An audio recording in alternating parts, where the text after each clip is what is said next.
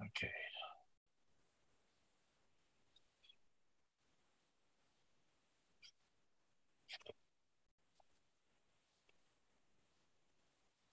Mr. Wilder there? Okay. Ready to proceed? Okay. Good afternoon and welcome to this online hearing of the Committee of Adjustment for the City of Ottawa. The Committee of Adjustment is a quasi-judicial tribunal appointed by City Council to make decisions on certain types of applications under the Planning Act. My name is John Blatherwick, and I'll be chairing this hearing today with me and my fellow panel members, Stan Wilder, Heather McLean, and Michael Wildman. Please take note that this video conference is being live streamed on YouTube. The video will be archived along with today's agenda on the city's website. Before we begin, we have a few items to outline for your information. While the issues surrounding development in the city are broad, our mandate is quite limited. The committee cannot consider aspects of the proposal that are not related to the required variances. Noise, pollution, property maintenance, property values, prosecution for illegal construction, personal comments regarding neighbors, agents, or applicants, and additional variances without proper public notice. If there is an identified need for an additional variance or variances, including an increase in the extent of the relief required, the recirculation of the application is required. As part of the statutory public notification requirements, each applicant was required to post a sign on the property and file a statutory declaration confirming the sign posting. Uh, we only have that stat dec for one of those applications. So I will be administering the, uh, the verbal oath to all applicants' agents today in order to proceed with their uh, applications. Regarding quorum, if this is lost during the hearing due to technical difficulties, the proceedings will be paused to allow time for the resolution of the issue. Failing the ability to reinstate quorum, hearing of the items remaining will resume at the outset of the next regularly scheduled meeting of the committee. In terms of the hearing process, Listed on the agenda and appearing on the screen are the applications we will hear today. For the sake of efficiency, the committee may deal with agenda items in a different order. Note that the committee members have reviewed the application materials prior to this hearing and any written submissions received in support or in opposition. In addition, the committee will hear today oral submissions from any interested parties as part of our proceedings. The committee may ask for a brief presentation by the applicant followed by questions from the members where clarification may be required. The public submissions portion of the hearing will then begin, and any interested parties will be invited to make their submissions to the committee. Panel members may then ask follow-up questions where additional clarification may be required. When you are called upon to provide your comments, we will ask you to do the following. Start by stating your name and municipal address for the record. We may ask you to spell your last name. Then begin your submission by addressing your comments to the panel members. You may ask questions, but please direct them only to the chair. Please limit your comments to a maximum of five minutes. Any exceptions will be at the committee's discretion. Once all interested parties have had an opportunity to address the panel, the public submissions portion of the hearing will then be closed. The committee will then make an oral decision to either grant or deny the application. The committee may also choose to reserve its decision. In such case, the panel will deliberate further on the evidence presented immediately following adjournment of the public hearing. In either case, the committee will send within 10 days of its decision and to all the parties and those who have requested it, a written notice of decision that sets out the reasons for the decision. All decisions of the committee are subject to a 20-day appeal period during which the decision can be appealed to the Ontario Land Tribunal for a fee. Before we begin, are there any declarations of interest from any of the panel members regarding this hearing or the hearing of panel two or panel three? See none. We have no minutes to confirm, so we'll move to the requests today for adjournments, and we have a number of them. First of all, uh, before we do that, on the, uh, the last hearing, we had an item 480 McLeod Street. Uh, this was a permission application to permit two additional rooms in a 16 room rooming house. The questions were asked regarding whether or not the applicant actually needed to apply for permission. The applicant has since uh, dealt with City Legal Department and Building Code Services, and uh, the departments have determined that no permission was required. Therefore, the application for 480 McLaren Street has been withdrawn. So the first adjournment request we have before us today are for items three and four, 305 Currell Avenue. Uh, these are consent and minor variance applications to subdivide the property into three parcels, which will consist of two new townhouse dwellings and the existing two-story dwelling. And the agent for the applicant, I believe, is Mr. Kalitza, um, and the planning department are the, uh, the body who has requested this adjournment. Mr. Hamilton, to the adjournment, please. Thank you, Mr. Chair. Um, there are limited services available in Irene Crescent. Therefore, all of the units within the interior of the lot will have to be serviced through Currell. Uh, engineering staff are looking for additional time uh, to speak with the applicant and receive additional information just to make sure that all appropriate servicing widths can be met. Okay, thank you, Mr. Hamilton. Mr. Kalitza, you're the agent for the applicant. Uh, I am, Mr. Chairman. And for the record, your address, please. 76 Chamberlain Avenue. Okay, and to the adjournment request. Um, Mr. Chairman, just, just before I do that, I, I just noticed on uh, my last reading of planning's comments that there is one variance missing uh, that was requested and is part of the uh, notice of, um, of uh, minor variance application. Um, so I thought I'd bring that up. Um, and it's uh, it was variance J of the um, of the uh, notice that went out. So I'll, I'll just, I guess I can just leave that with you. This is the variance regarding a double wide driveway. Correct. And you're saying what, Mr. Kalitza? I'm saying that um, planning's comments reviews reviews the variances that are requested, Mhm. and variance J is not included in those lists of uh, variances for uh, 686 Irene Crescent. Mr. Hamilton? Thank you, Mr. Kalitza is correct. It was omitted. Uh, it should be in the staff report and will be provided on the return. Okay. And do we know what the staff reports, the staff's position on on that variance would be? By department standard, we generally don't support double width driveways. Um, it will largely come down to the conversations that result from engineering uh, and if there are any impacts on the site, which I don't expect at this time. Okay. All right. So I think, Okay. uh, Mr. Chairman, then with regards to the, uh, to the adjournment, uh, just a bit of background information. We received comments um, at the end of the day yesterday. So we still, we don't know what these um, concerns are with regards to engineering and more specifically servicing. Um, well, I guess, you'll- I guess you'll know, Mr. Kalitza, once we adjourn, You'll have time to do that. Um, yeah, I, I guess I will, but I, I just want to give you a bit of background. Um, that we started this conversation with engineering with regards to servicing six months ago, Mhm. uh, because there are not services on Irene. So for this project to move forward, it was imperative that we um, provide services in an easement. Um, and um, at that time, we have an email from engineering saying that that was uh, permissible. So um, can anyone share any light on, on why this is Perhaps requested? Mr. Perhaps Mr. Hamilton can answer your question, Mr. Hamilton.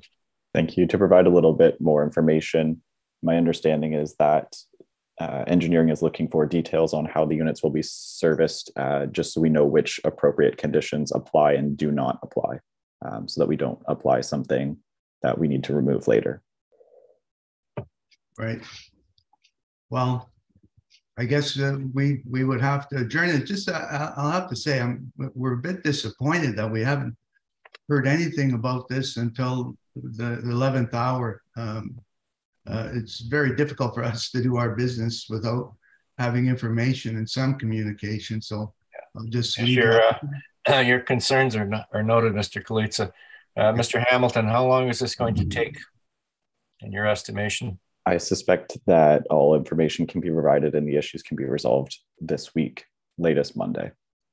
Okay, so that's, we look at a hearing date, then, uh, October the, October the fifth would be appropriate.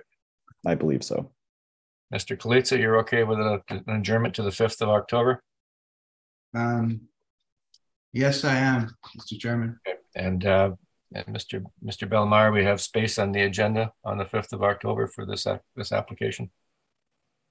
Yes, we do, Mr. Chair. Okay. All right, with that, uh, all in, uh, all in favor of adjourning this application until the fifth of October to resolve the issues. All right, applications adjourned until October the fifth. Thank you, Mr. Glitzel. Thank you, Mr. Hamilton. Thank you. All right. The next application that's up for adjournment is item number, number five, three sixty-eight Tweedsmuir Avenue. And this is a minor variance application to permit a reduced rear yard setback for bicycle sheds and increase the number of units from twelve to sixteen permitted for a low-rise apartment building. And I believe Ms. Hill is the applicant's agent. Hi, Ms. Hill. Ms. Hill, your address for the record, please. 414 Churchill Avenue North. Okay, and you, uh, you requested this adjournment, so please articulate your, uh, your request. Yeah, it's come to our attention that there's some uh, difference of opinion about the interpretation of the, the bay window uh, requirements in zoning. And we want to do a little bit of due diligence because we do have a bay window in the front that would be affected. All right, um, how is this going to be resolved? Is this going to end up as another minor variance or will, will this be a design change to the building? Um, hopefully, it will just be a, a clarification of wording, just to be sure that everything's okay. But if it Um, it- if it isn't, then we'll have to decide whether we make a change to the building or whether we request another uh, another variance. But um, we um, we need to move ahead quickly, so I uh, I think we would just be forced to to make a change to the building. All right, and the, if, if there's a design change, you're gonna have to submit new elevations to, uh, to staff and to us. Uh, what are we looking at as far as timing is concerned? Oh, we can get this done in the next couple of days. Um, it's not a big change. It's just the this one bay window. So uh, we're ready to go back on the next agenda for sure. Mr. Hamilton, Um, that- that's sufficient time for the department? Thank you, Mr. Chair. The ch- changes to the site plan to bring it into compliance are quite minor. Um, that that should be doable. Okay, and Mr. Bellemare, we have space on the October the fifth agenda for this application? Yes, Mr. Chair. Okay, so Ms. Hill, the fifth of October, you can get this resolved by then? Thank you. Okay, all in favor of adjourning until the fifth of October? All right. Adjourned until October the fifth. Thank you, Ms. Hill. Thank you. Okay.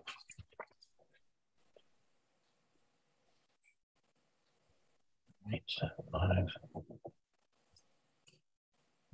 The next application that is up for adjournment, item, uh, item seven, forty, four thirty-six Athlone Avenue. Uh, is a minor variance application to permit reduced setbacks to the rear yard and bicycle sheds, a reduced rear yard landscape buffer, and reduced parking for the construction of a low-rise apartment building. And I believe it's a department that has uh, asked for this, uh, for this adjournment. Thank you, Mr. Chair. Um, This adjournment was for the same reason as the previous file uh, with respect to the bay window and the compliance factor that that um, has on the front yard setback. Okay. And Ms. Hill, you're the agent for the applicant? Um, I am. agreement- You're in agreement with the adjournment? Yes. Okay, um, and you estimated time for this issue to be resolved? The same, please. Mr. Bellemare, we still have space on the fifth of October? Yes, we do, sir. Okay. We have a number of, uh, speakers on this, uh, on this item. But, uh, and if they wish to say, if they wish to speak on, on this, it's just to the adjournment. I believe Mr. and Mrs. Moran had their hand up. Oh, I'm supposed to put my, sorry.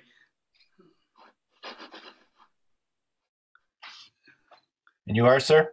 Uh, this is Larry Wong, 444, 440 Dawson for the record. Yeah, uh, for the, to the adjournment, to the adjournment, Mr. Wong? Well, no, I have to f- figure out if I want to attend the next session. You know, I already put in some opposition for the uh, two variances, and I really don't know the best method now. Well, if we adjourn until the fifth of October, we're back up and dealing with this item then. Okay. You're, uh, you're up. Your note, your com, your concerns are in the, uh, you're in the record. So, okay, so uh, is it possible that I can just update what I wrote already and not attend the session, or is it important that I do? If you feel that there's extra, extra material you'd like to submit, you have another, another several weeks to do so, sir.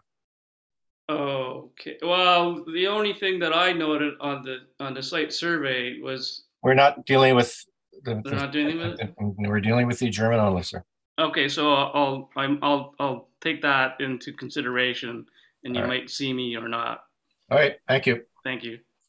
Okay, we have several other speakers that wanted to speak to the application, but we're dealing with the adjournment. Do either, any of them wish to speak to the adjournment? Mr. and Mrs. Morgan, Mr. Lewis, Ms. Davies. Uh, Start my video. Start your video. Hi, sorry. And you are, sir? I'm uh, David Morgan. I live at 440 Athlone Avenue, immediately to the south of the subject property. And to the adjournment on this application, sir? I'm just seeking uh, confirmation that uh, we will get a detailed description of why this item has to be adjourned. I don't understand. Uh, have you been listening to the conversation so far? I have. Okay, you've heard Miss, uh, you've heard Miss Miss Hill explain why she needs the adjournment. I was unable to follow that. I just wonder if we can. Miss Hill, if you wouldn't mind re-articulating that, please?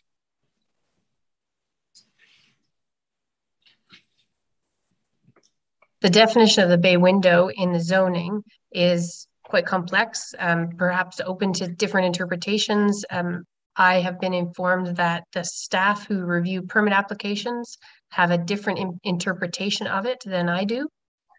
And um, i- in which case their it, their interpretation would, would render the the bay window non-compliant uh, to the to the bylaw. So I need to figure out first of all whose interpretation is correct, and then if necessary, correct the windows to to bring it into compliance. Perhaps perhaps it's just best for me to speak with Ms. Hill offline. Uh, Yeah, I- yeah, I'm for not sure. against adjournment. That's fine. Give me a call, David. Yeah. Okay. Thank you, sir. All right, um, Mr. Bellemare, we have space on the fifth of October, you were saying, you were saying? Still? Yes, Mr. Chair. Okay. So we'll adjourn this application until the fifth of October, Ms. Hill? All in Thank favor? you. All right, application's adjourned. Thanks. Thank you.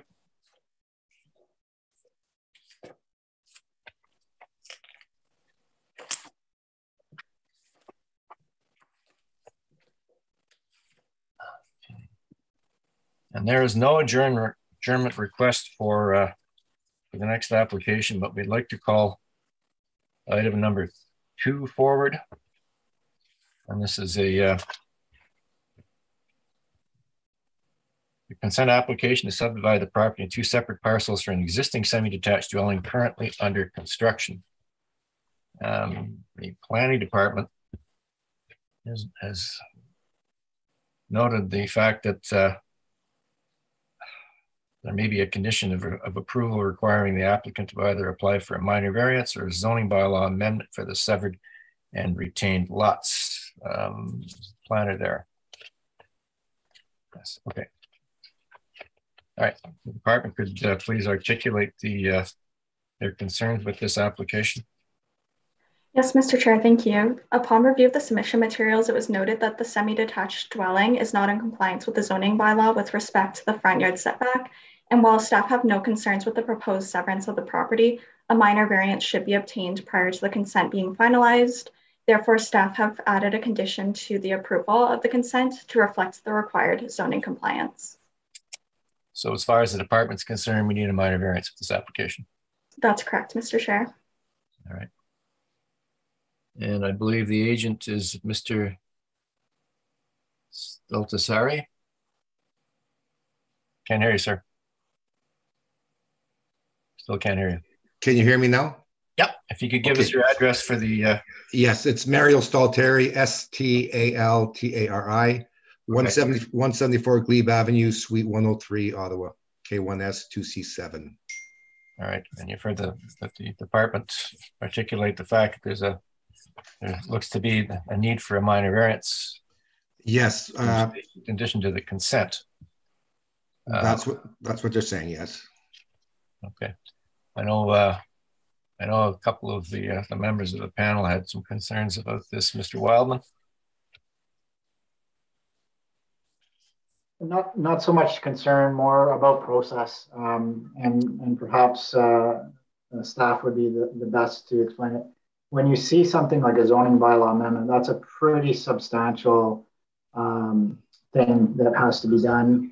Uh, and when you look at the minor variance application, and I realize that those are both two paths that can be followed, but I think it's safe to say that, uh, that, um, it's probably most appropriate for this to go through the minor variance uh, process. Um, and uh, if if the applicant has no concerns with uh, you know recognizing that that needs to be done, then um, from our perspective, we don't have, I don't think, or at least I don't, uh, a major concern with conditioning the, application. So uh, under that scenario, um, I guess uh, well, I guess for the consultant as well, uh, do you have any concerns with uh, a condition that provides for a requirement for a minor variance application? I, I would like the, I have no condition on, on having to have a minor variance per se, but I'd like it worded a little bit differently if possible. And if I can explain, uh, I did my front yard setback per written instructions from the city of Ottawa. Okay. The committee approved when I went for my first minor variance, which was lot width. They approved my site plan. And what I did is I built this house uh, so it's the average distance of the two neighbors, which is proper planning that they use all the time in the glebe. Nobody had any concerns from the city at that time that uh, my, the zoning says I should be three meters from the street. I am 3.6 meters from the street. Now they're saying I have to get a minor variance. My issue with the minor variance is time. I'm ready to go to market. Okay. And the market's not going the right way. That's not your issue. It's an issue I have to deal with.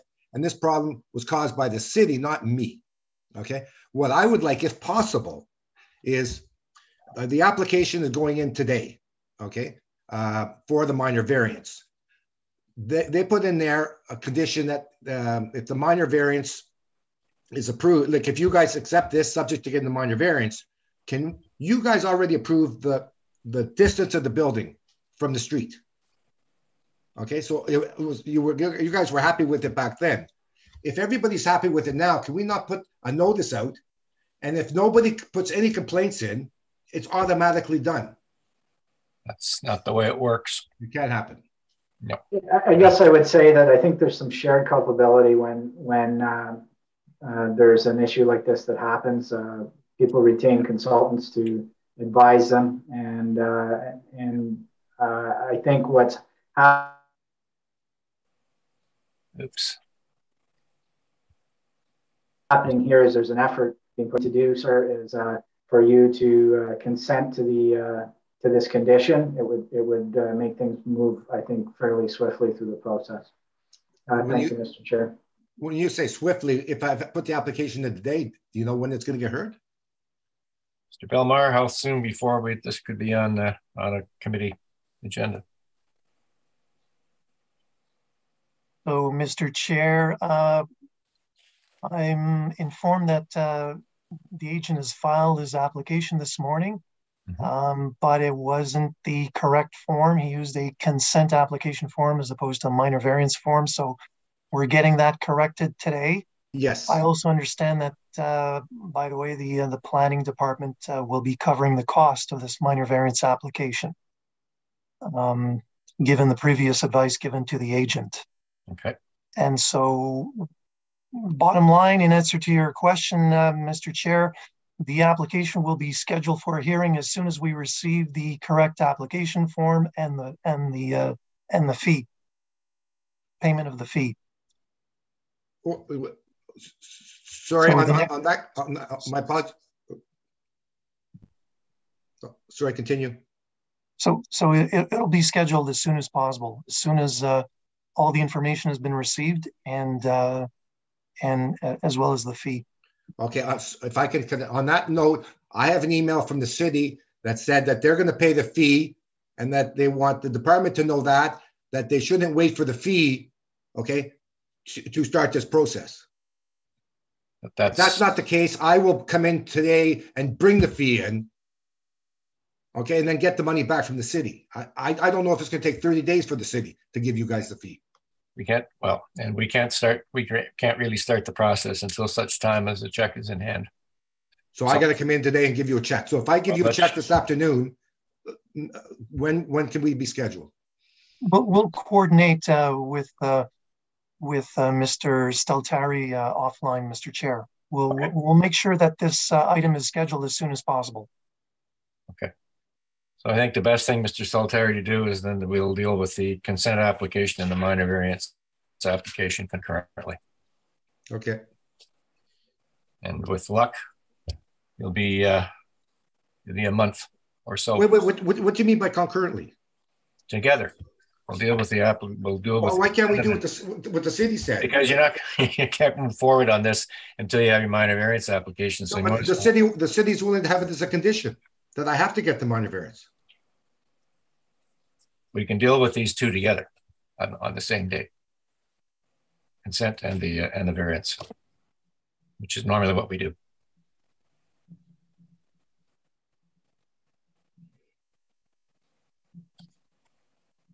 And I think that's the best course of action, quite frankly. I'm far more comfortable dealing with the consent and the variance at the same time. So heard from Mr. Mr. Bellemare that they will expedite. I'm glad to see that the city is uh, is covering the cost on this. Uh, it's unfortunate this is this has happened, but it happens from time to time. Anyway, um, we will uh, adjourn this this application. I think sine die. Well, can I, can I ask one question? Because this, this, the, the, part of the, the, the severance is I have to uh, pay cash in lieu of parkland. Mhm. Does that pro- process wait now for another thirty days? Because we, don't have the approval for severance? I don't think you have to pay the cash in lieu parkland until the severance is approved. No, no, no, but to start, they have to get an appraisal all that. Does that mean they're not going to start that process until we have the severance? I have no idea. Can miss, can the, the city of I Ottawa speak think I'd. I'd suggest you talk to the planning department about that. As far as we're concerned, though, we're going to be dealing with these two items together and hopefully as, uh, as soon as possible. So to the, to the adjournment, sine die until, uh, until these matters are resolved. We'll have a variance and the consent together. All in favor? Adjournments, uh, applications adjourned, sine die. Thank you very much.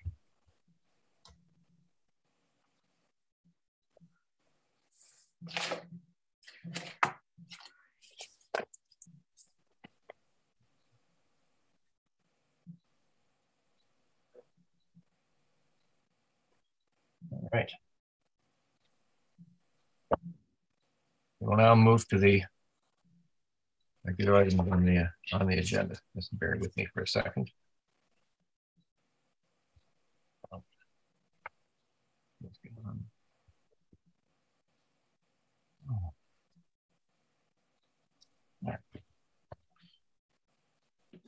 First item we'll deal with on the, uh, on the regular agenda is item number one. 44 and 46 Imperial Avenue. There's a consent application to sever the property into two separate parcels of land for the existing semi-detached dwelling. And I believe Mr. Segreto is the, is the agent for the applicant, for the applicant. Good afternoon, Mr. Chair, committee members. Mr. Segreto. First, we'll start with the oath. Do you solemnly swear or affirm that the notice provided to you as part of the application process and by the committee was posted at the property to which the application applies for the prescribed number of days before the hearing and clearly visible and legible during the entirety of that time? I do swear. Okay. And this is a uh, this is a simple consent application. However, there are some questions from the members of the committee. Ms. McLean.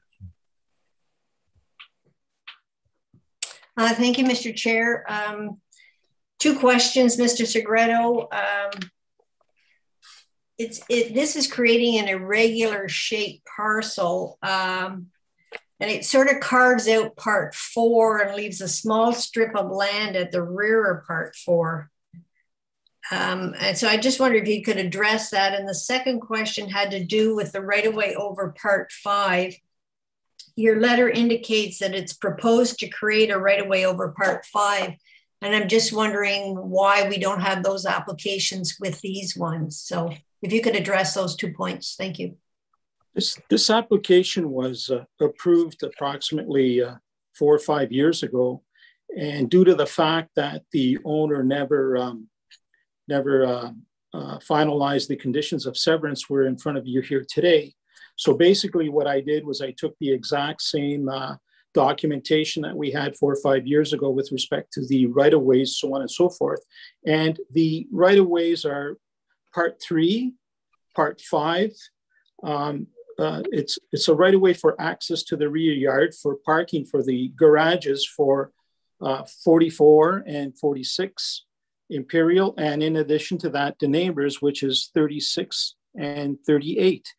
Um, the only the only thing that I can say on this thing here is, is that we I spoke with the lawyers this morning, Mr. Wong, with respect to 36 and 38. They were just concerned very slightly that the bump out from part two, if you can put up the the uh, the uh, draft reference plan, you can clearly see it. And what they were saying is, is that it wasn't wide enough there. If they can just make that a little bit wider approximately 14, 15 inches wider. Where the bump out is, you can clearly see, um, uh, yeah. And then where the two arrows are, there's like a two point, uh, two point, I can't read the numbers there, but they were just wondering if we could make that a little bit bigger because the intent is obviously to sell these two uh, these two units and that there would be no concerns with the neighbors next door uh. McLean. So that's that's my understanding of it. But the application is identical to what we did uh, uh, three, four years ago, which was approved uh, back then. I don't know if I've answered your question. Uh, I don't think you have. Can you tell me if part five has been created or if you're... Yes, it has. It has been created and, and it was created uh, uh, a few years ago with the uh, neighbors next door. It is created, it is a right of way to the back. This has been a right of way to the back. Part three and part five are right of ways that have been established since the beginning of the construction of these buildings, which were done maybe 40, uh, 50, 60 years ago, 70 years ago. So your letter says you propose to create a right of way over part five. Well, I'm, well, it's an existing right of way. I'm, I'm proposing that my guys are still going to be able to uh, have access to the back. They've got to go over part five. It's an existing, part five is an existing right of way as it stands. Okay, and then uh, thank you for that then. And then just uh, part four is part of a garage. Do you have any photographs of the bump out in that garage at the back? Because the garage seems to have a length of 13 feet and then there's this small area of about two feet that's that's going to stay with part one. And I'm just wondering about um, I, creating such an irregular shaped parcel there. You know, again, Miss McLean, with respect to that, that garage was built at the same time that the, the houses were built back in the day in the 1940s, I guess, 50s. With respect to that two foot bump out in the back, I have no idea why Stantec has created that part one to go along the side, along the back of that. I have no idea. So uh, I, I can't answer that question for you. Any idea why part two is such an irregular shape? again, again, Mr. Blatherwick, no, I have, uh, no, no, Yeah. I have no idea why. And I, Hmm. I guess what the fear is there is, is that uh, I know that you cannot put any fences on a right of way or whatever, but I guess along that side, because it forms part of the backyard, I think what some of the concern might be is, is that if someone were to put a fence an inch or two along that way, it would, you know, it would create a little bit of ha- havoc. Therefore, one of the reasons is, is to move that line over possibly uh, 15 inches or a foot and a half or whatever by 10 feet. It would give a little bit more flexibility to the neighbors next door so they can drive through and park their cars in the in the back as uh, as my clients have it. But you know what I mean? Uh, it, that's the way it was. That's the way it's registered. That's the way it was presented to us, and that's what we have in front of you here today. My client, speaking with my client, I did discuss this with him this morning. Uh, he did say that if it comes to a point that if we were to uh, adjust that line a little bit, uh, 15, 16 inches, whatever, by 10 feet, my client doesn't have any issues with that whatsoever. And we could put that as a condition of severance. And then we would revise the plan accordingly. And then we would file it with the registry office, so on and so forth. Ms. McLean? Thank you, Mr. Chair. I'm going to suggest that we adjourn this application and get some uh, some answers to the questions that uh, have been raised here. Uh, not comfortable in knowing whether there's a bump out or not, not a bump out, what the width of that area, the width of that right away is, why there's a strip of land left behind part four, what the garage looks like, and whether you can park a car in that garage. So I think we need some answers. You know, Mr. Segreto, please. Well, I I I, I kind of respect respectfully disagree here. The garages have been there since day one, and that this severance or this uh, this plan has been created and approved in that in uh, I believe it's 2017 or 2018. There were no issues at that time. The only issues that have arisen was an issue of concern with the bump out a little bit, but that bump out has been like that since day one, and access in and out continues that way. Um, if if you, if it need be, then let's adjourn it for two weeks, and I'll get these answers, and I'll get back to you. Mr. Wildman? Uh, thank you, Chair. Uh, if staff could just uh, come online. Um, normally, the fire separation, Mr. Segreto would, would be familiar with this, the fire separation is a condition. Uh, this time it isn't. I'm just wondering, can you explain why this time it isn't? Well, the building has been. No, not, not you, Mr. Segreto, staff. Oh, sorry. Uh, and if you have something to add, by all means, after. Sure. Um, through you, Mr. Chair, um, I believe this was in place by Building Code Services as a comment. I'm not aware why this isn't a condition, but I can get that answer for the next hearing. Thank you. Uh, Mr. Segreto, do you have anything to add? Are we talking about the fire separation between the two buildings right now? Yes. Yeah. Yes, sir. Okay, so that's that's. I, It's normally a condition, and I'm just curious as to why it's not a condition this time. That's fine. We can we can address that as well. I don't have an issue with that. Okay. Okay. Well, thank you, uh, staff and Mr. Segreto. Yeah. So I think in an abundance of caution, we will adjourn this for uh, two weeks. We still have space on that agenda on the 5th of October, Mr. Bellemare, Yes, we do, Mr. Chair. although it's beginning to fill up. It is. I'm going to have a later dinner that day. All right. All right, Mr. Segreto, what we'll do is uh, we will adjourn this until the 5th of October. I think that gives you sufficient time to resolve any issues. Yes, no problem. Thank you. All in favor of adjournment until the 5th of October on this item? Okay. We are adjourned to the 5th of October, 44 and 46 Imperial.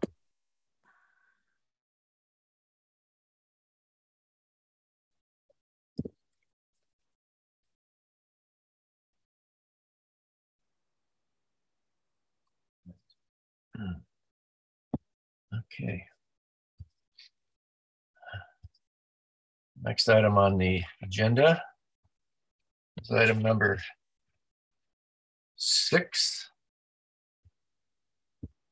This is uh, 296 Metcalfe Street. This is permission application It's a permission application to convert first and second floor of the existing building currently used as a medical facility, limited to audiologist offices only, to a medical facility which will allow for a dental office and a dental laboratory. The residential units will remain in the basement and on the third floor. And Sinclair, I believe, is the agent for the applicant.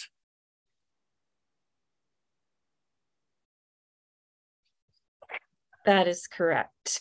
Um, Uh, can you, Sinclair, before, before, yep, I can hear you. Before we begin the, uh, the oath, uh, do you solemnly swear or affirm that the notice provided to you as part of the application process and by the committee was posted at the property to which the application applies for the prescribed number of days before the hearing and clearly visible and legible during the entirety of that time? yes, Mr. Chairman, I do, I do, and I have filed a statutory declaration with the committee this morning. Okay. All right. So this is a permission to change the use, basically. Correct.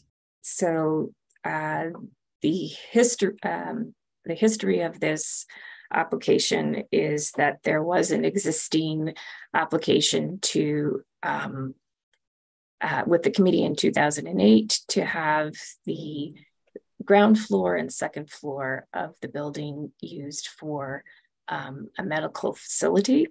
Mhm. That application was approved, but at that time it was limited to a medical facility with audiology uses. The other two uses in the building are um, residential in the basement and in the third floor. Those will remain. Um, so uh, the zone designation uh, for this particular application is in a, a residential R4 zone uh, density.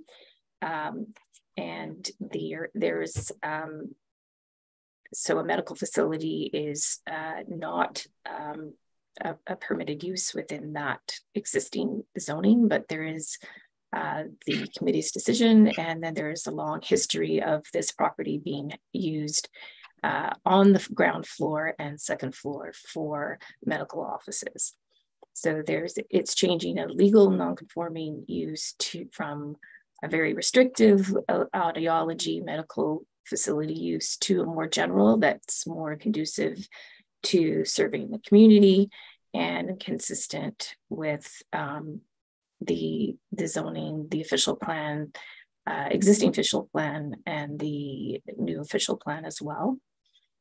Um, I have provided uh, various um, comments on the the uh, the sections and secondary plan policies uh, in the application for um, demonstrating the the continued use um, and and the more uh, consistent use uh, um, with developing policies under the new official plan for encouraging 15 minute neighborhoods and for uh, uses that are more mixed in nature and appropriate for this particular area. Um, okay. Uh, question from the uh, from the committee is uh, what your your applicant's position would be if we uh, if we granted the medical facility but limited it that to a dental office and a um, and a uh, what's the other one? Dental laboratory only. Yeah, that would be restrictive. Um, uh, with the way the official plan is evolving and for uses in that area, we felt it would be more restrictive.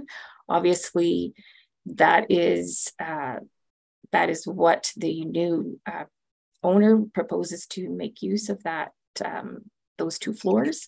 Mm-hmm. Um, so that would that would be um, acceptable, but they're really um, uh, with changing uses and to allow for greater servicing of the community, we really feel a medical facility is more appropriate. Thank you. Mr. Wildman, you had a comment? I just wonder if member uh, McLean might wish to elaborate. Um, I think she could do it a little more eloquently than me, but um, sort of the path. Um, we do need to, uh, as, as we discussed, uh, Mr. uh, Chair, to clarify um, some of the language yeah. uh, around this in the sense that it, it was not used as a um, medical facility. It was a, an audiologist. And perhaps um, Ms. McLean would do a better job of sort of walking us through that. But I think that explains a little better as to why we want to, or we're posing the question of dental office and dental uh, laboratory. And I would just, uh, I would appreciate Ms. McLean's uh, input on that. Um, thank you, Mr. Chair. Um, I just uh, wondered if we, the committee shouldn't be amending the, the notice, the, the reading of the notice. My, my reading of the 2008 Committee of Adjustment decision was that they amended the, uh, the request uh, and they dropped uh, the reference to medical facility and um, made it, uh, restricted it strictly to an audiologist's office.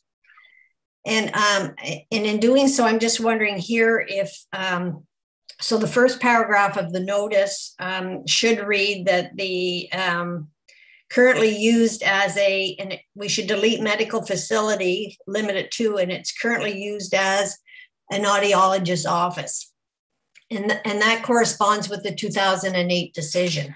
And then under relief required, um, I think it should read rather than to expand the legally non-conforming. I think it should be to change the legal non-conforming audiologist office to a, and this is where the question came in, uh, Ms. Sinclair, uh, whether we wanted to use the general medical facility use or more in line with the 2008 decision, restricted to the proposed dental facility.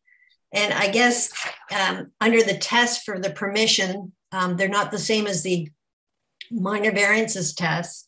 Um, you look at the, the, desirability and the impact on the surrounding area, and and uh, does a general medical facility have more of an impact, or what's the parking, or what's the patient count, as opposed to a limited use as a dental facility? So those sort of were the observations um, that we were we were having on the application. Right. If I may respond. Um, yes. So I, I, I do agree with you that it, the wording expand is probably not the best wording in the in the notice. That it is just a change uh, to a use. Um, I would not uh, su- suggest that we limit it, it to just a dental practice. Um, it's not a big space. It's just the ground floor and the the second floor. It's an older home like setting. Uh, the the to- I think each floor is about on an average about 2,500 square feet. So it's not like a like a, a huge um, change. There is about 20 parking spaces on site to accommodate. So it's it's uh, so it, it serves those purposes as well. Um, I think with uh, the ability to have complementary practices, uh, medical practices within um, a, a, an area, it makes more sense to allow for a medical facility and changing uses over time as opposed to just a dental practice restrictive. Um, other than this, other than the audiologist's office that's there at the present moment, is there any other commercial operation in that building? There is another uh, commercial operation. I think I believe it's um, a laser, like it's medically related. It's a laser okay. um, uh, use. And, how many how many uh, residential units in the building? Two. The uh, third floor, there's a unit and basement unit. Okay.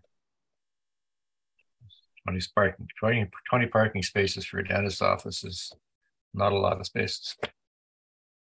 Especially if you have two medical medical operations uh, in the building. I can put uh, that can put a, a, a, increased parking demand, and you don't really have a lot of supply in the uh, in the immediate neighborhood. The intent is to have one dental practice with run by two um, to dentists. So it's it, it is one practice on both floors. Okay.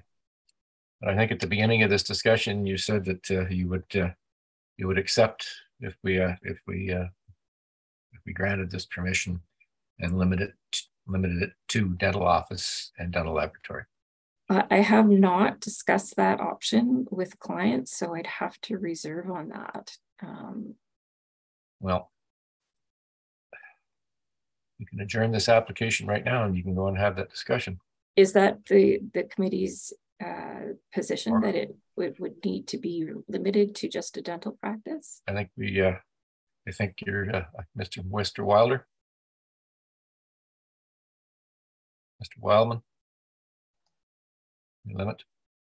You're asking me, Mr. Chair? I'm sorry, or, or yeah. Um, so my concern is we're talking about dental office and dental laboratory. And personally, as a member, my own opinion is that I don't have a concern with that uh, change. Uh, but I don't know just how much a medical facility would change my opinion on that, given we don't really know what that might be.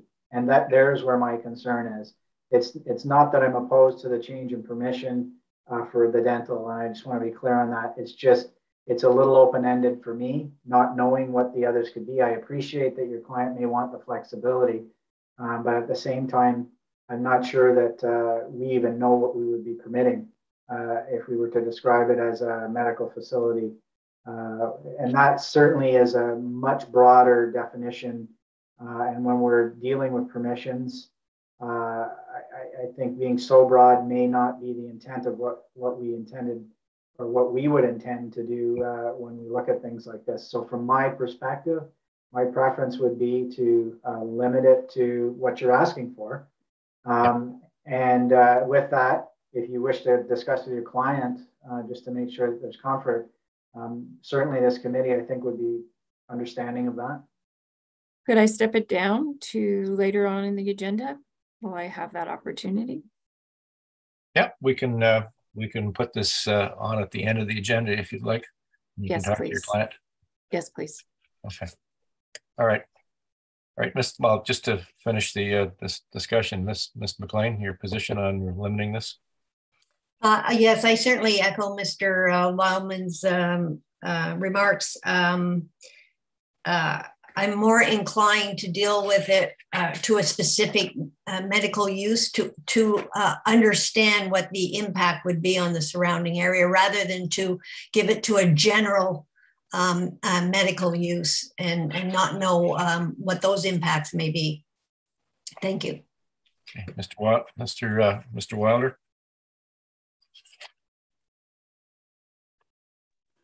I concur um, uh, I concur with the uh, with member McLean and uh, Wildman, limited to just the use and uh, not generally to a medical facility. Yeah. And uh, I'm in agreement with uh, with my fellow panel panel members. So we will step this down and uh, and you'll be lost on the agenda in a little while. Okay. All right. Okay. Thank you. Thank you. You're welcome.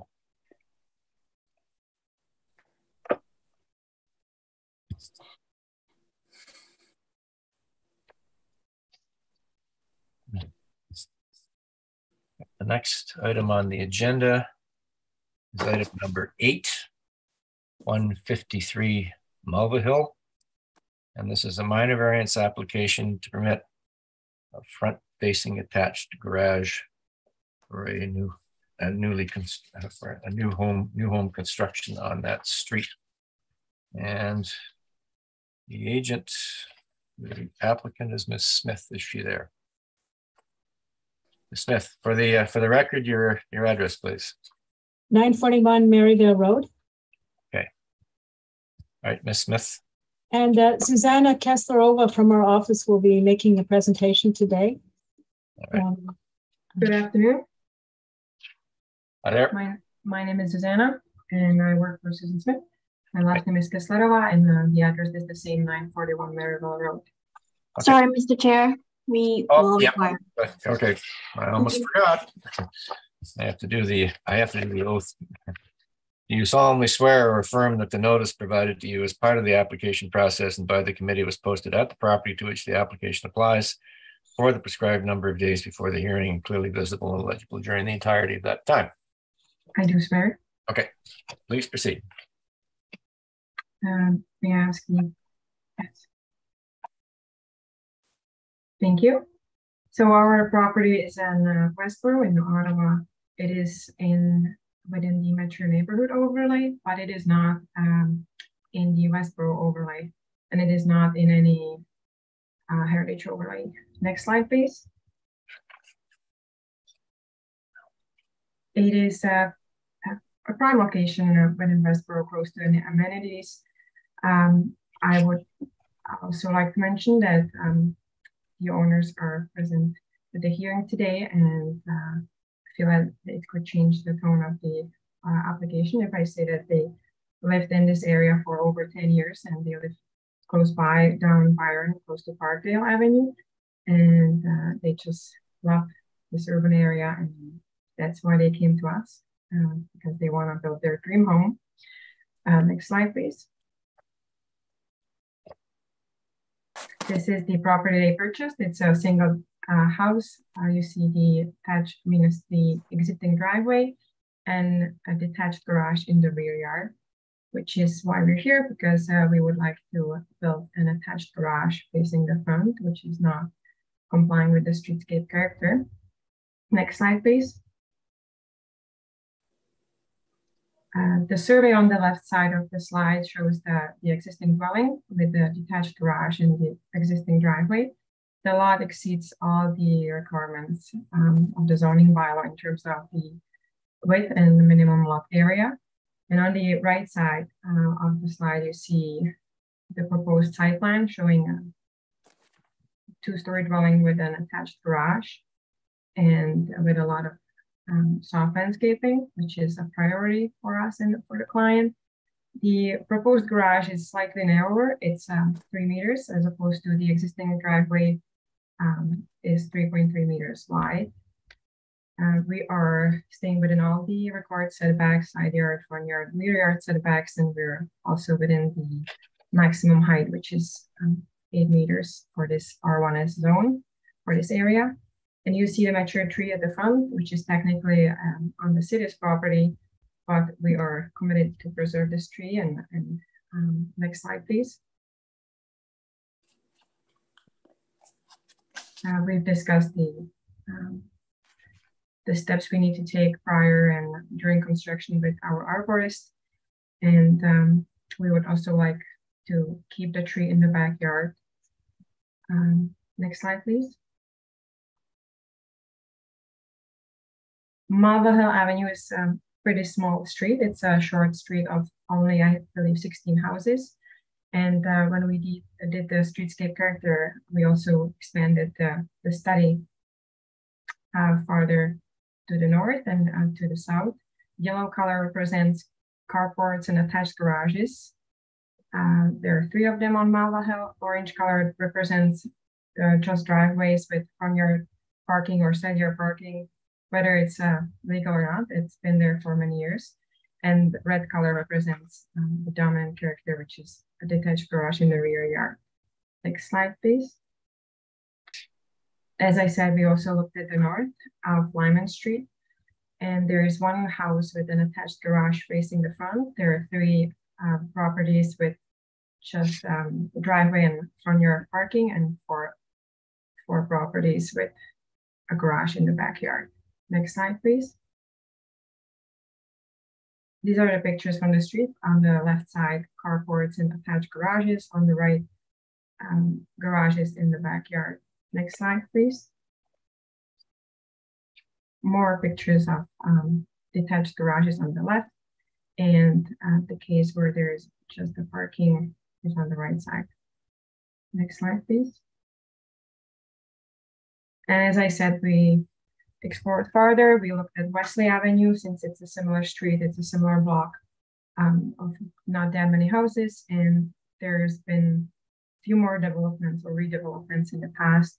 And the result of the, the analysis of the streetscape character, uh, there are 11 or 12 houses with an, attached front-facing garage. Next slide, please. These are pictures from Wesley Avenue. Showing the old houses or new houses with front-facing garages. Next slide, please. So since uh, a detached garage uh, seems to be the dominant character, we looked at that option and it's uh, the picture or the side plan on the left. The red rectangle represents the um, detached garage and the backyard that can be up to 55 square meters. And as you can see, it um, uh, it occupies majority of the backyard. We would lose the tree in the back. And on the right hand side, um, on the same site plan, you see a long driveway leading to the detached garage. And in this case, it's 70 or 75 feet long of pavement. And on the uh, right side, the proposed site plan, which is the footprint of the proposal would be um, very close. It doesn't change much, but it allows us to keep uh, way more green space and uh, full functional rear yard. Next slide, please. This is the res result of uh, the permitted um, case, which would be a, a, garage in the backyard. And the Google map and the geoOttawa map um, shows the whole picture um, of that scenario where you have a detached structure in the rear and a lot of pavement, a lot of hard landscaping leading, leading to it. Next slide, please. Uh, this is another case from just behind the property on at 153 Lyman Street. Same case, I mean, same uh, different property, same scenario, um, detached structure occupying majority of the backyard. Doesn't allow for any more greenery and a lot of hard surface. Next slide, please. And this is um, one more example of the same case, a lot of pavement and a, big structure in the backyard. Next slide. So our response to the character and the history of the area of the street is um, slightly different. It is slope roof, uh, traditional pitch that we repeat at the front of the house and over the front porch, which is another characteristic of the street.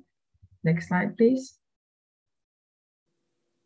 And the uh, these conceptual renderings are still a, little bit um, uh, organic when it comes to materials, but we do feel really confident about red brick at the bottom of the house. We haven't decided on the best fit for the street for the second story uh, in terms of color or material for the siding. Uh, we do want to fit the best we can. We want to blend in this neighborhood. Uh, we explore the option of pushing the front, uh, from the garage wall or the, the garage door uh, a bit farther from the front property line, but we felt like it the, the overhang that it creates over the garage door just draws more attention to the fact that there is a front facing garage. So we opted for a little bit more um, creative option and uh, we repeated the same pitch and we would like to hide the garage door behind uh, more greenery, um, perhaps some ivy plants or anything that would do well under these conditions. And we've been talking to our contractor just to keep this, uh, you know, um, Enter the, uh, enter the four tests for this application. Sure. Um, may I ask for the last, uh, for the second last slide, please? We do believe that the variance is minor. It's just one variance. And as we shown above, the impact of the attached garage is smaller than building a detached garage in the backyard. The proposed development is desirable for this property, and we do believe that uh, the proposed design is compatible uh, with the scale, rhythm, and character of the, of the street. And um, the proposed variance maintains the general intent and the purpose of the zoning bylaw. Uh, the proposed development represents an opportunity to create a better suited solution for a custom family home in a manner which is consistent with the spirit of the streetscape character studies and the proposed variance uh, maintains the general intent of the official plan. Thank you. Um, as I said, the, the owners are here and they would like to say a few words or answer any questions if you have. We note that there are there are two residents on the street in support, but there are we also received four letters um, objecting to uh, primarily objecting to the uh, to the front facing garage. Uh, and I know the uh, planning department uh, opposes this application. Ms. Linker, are you there? Yes, thank you, Mr. Chair. Staff objects to the proposed variance as we are of the opinion that it deviates from the intent of the streetscape character analysis provisions. The streetscape character analysis is an objective count of building elements on the site, and they are intended to encourage development to maintain the character of the existing homes on the street. We believe that the front facing attached garage deviates from the intent of the official plan and zoning bylaw in this respect, and maintaining the existing driveway location will be more in keeping with the streetscape character and will provide better conditions for the retained tree in the front yard. Yes, we also note that the uh, the forestry department has said that the uh, proposed driveway is going to be within the critical root zone of the existing tree, the retained tree in the front yard. Uh, how are you going to address that issue? Uh, we've been talking with our arborist, and uh, we believe there is a way around it. Uh, they would you know, put up a fence during construction, and we can install permeable pavement, pavement if it's necessary for preserving the tree. Um, with the services, we would definitely avoid the critical root zone area. And um, yeah. The forestry department is talking about the driveway needing to be relocated, not simply just you uh, put uh, orange fencing around a tree to prevent backhoes from digging up the roots. The existing driveway is very close to the location we're proposing. If necessary, I believe we can um, move it over to to the east side of the property. Uh, would result in not a straight driveway, keeping with all the side yard setbacks. But the driveway could be relocated to to uh, mitigate the impact on that tree, or not? Um, yes, I believe so, slightly. Um, but as I said, it won't. It will result in not a straight driveway leading directly into the garage door. There would be a turn. How wide is that driveway that you're Uh, proposing? Three meters. So which standard width, standard yeah, width. and it's permitted for this area. But you could, uh, you could reduce that driveway width. You are outside, you're not inside a, you're not inside a building. So you have to worry about swinging doors. Pardon me? So you don't have to worry about swinging doors hitting walls. So if you went to a two point six meter driveway, would that, uh, would that, uh, reduce the impact on that tree in the front yard? Uh, well, we can't, um, we could reduce it, but we would have to reduce it just from the west side to um, protect the tree a bit more, which would lead to driving into only one side of the garage. Ms. Young? How impactful is that driveway going to be on that tree? Thank you. Through you, Mr. Chair. Um, the TIR didn't uh, raise any major concerns about the driveway uh, location. It says it's about 2.5 meters from the tree.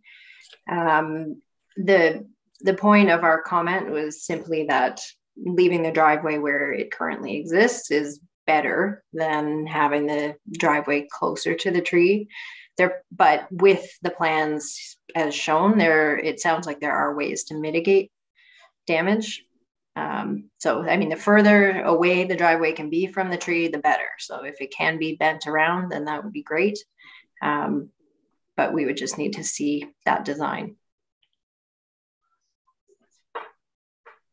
You've heard from the forestry department. Can you modify your site plan to provide a, provide a driveway design that has less impact on that existing mature tree in the front yard?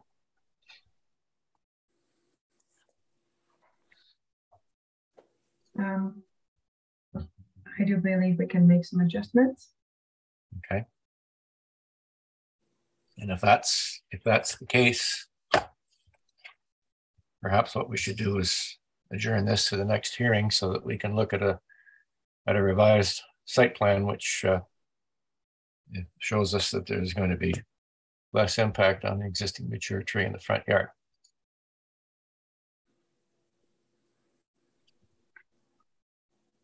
You, uh, Andrew? your client in agreement? Or do we wish to stay with what we have? Um, my only comment is based on what I've You are- heard. and you are, sir? the- You Oh, are, sir? sorry, I'm, I'm Andrew Blocka, uh, owner of uh, 153 Mulvihill, um, Mr. Chair. Um, based on what I've heard um, today and from the tree report is that uh, there does not appear to be uh, any significant concerns. But uh, I'll, I'll defer uh, to your comfort. Um, if you think changes need to be made to the design and we need to come back. Um, again, my understanding from the tree report and from the comments I've heard today uh, is that uh, you know the mitigations uh, are in place to ensure uh, that there is no damage to the existing tree. Thank you. Blaine? Uh, thank you, Mr. Chair. I, I'd prefer to, to deal with the, the uh, merits of the application today um, as presented. And um, should um, the committee decide to approve it, uh, we could perhaps um, indicate that there was an understanding that the driveway was to be reconfigured. But I think uh, um, the, the request before is, is whether or not to permit a front-facing attached garage. Correct. Yep. All right. I don't believe there are any, any of the neighbors wish to speak to this application. They are not on my list. No. You still wish to make a comment, Ms. McLean? You're done. Your hand's still up. Ms. Smith? Just wanted to comment about the letters. I believe it was from two neighbors and, and then they issued uh, clarifications after that. Just wanted to say that minor point. Okay. All right. Go ahead, sir. Go ahead. Hey, uh, good afternoon, Mr. Chair, uh, committee members. Again, it's uh, Andrew Block from 153 Mulvihill. Um, I'll be brief. Suzanne did a great job of covering uh, the important factors of our application. Uh, first, again, uh, like my wife Bridget and I, uh, we've lived in the neighborhood for 10 years, and our two boys, Caleb and Alex, for five and three years, respectively, over 47 Clarendon. We're intending on building a 153 Mulvihill to be a forever home for a young family. And we understand what's amazing about this area, and we're 100% invested in keeping it amazing. So our proposed building attached garage is not about cars, right? Uh, it's about safe storage for seven bikes, a chariot, a wagon, canoe with a bike trailer. You guys get the idea. Uh, it also provides safe and convenient transition for young children from these activities into our home. Uh, as Susanna mentioned, if this application isn't supported, our remaining option that does not require variance is to build that large detached garage in the backyard, similar to what we're seeing at 162 Lyman. Uh, I, I, really don't believe that this is in the best interest of any members of the community as it's going to result in the loss of the urban green space in the backyard, including a tree. Uh, we've presented an alternative uh, that will protect the green space for urban wildlife and as a safe uh, play area for children. Uh, finally, uh, this design, it meets all zoning requirements and the requested streetscape variance is absolutely minor. Um, attached garages are common in the greater neighborhood beyond Mulvihill, and I believe that our design, which incorporates traditional elements and materials, is more faithful to the streetscape uh, than some other recent modern infills that we've been seeing uh, on Mulvihill. Um, and uh, that's all my comments. So thank you very much for your time and for your consideration of this application. Okay. All right. Thank you, sir. Any further comments from the applicant's agents? Any comments, com further comments or questions from the members of the committee? We wish to uh, make a decision right now or reserve? Mr. Wilder? um, Can't hear you.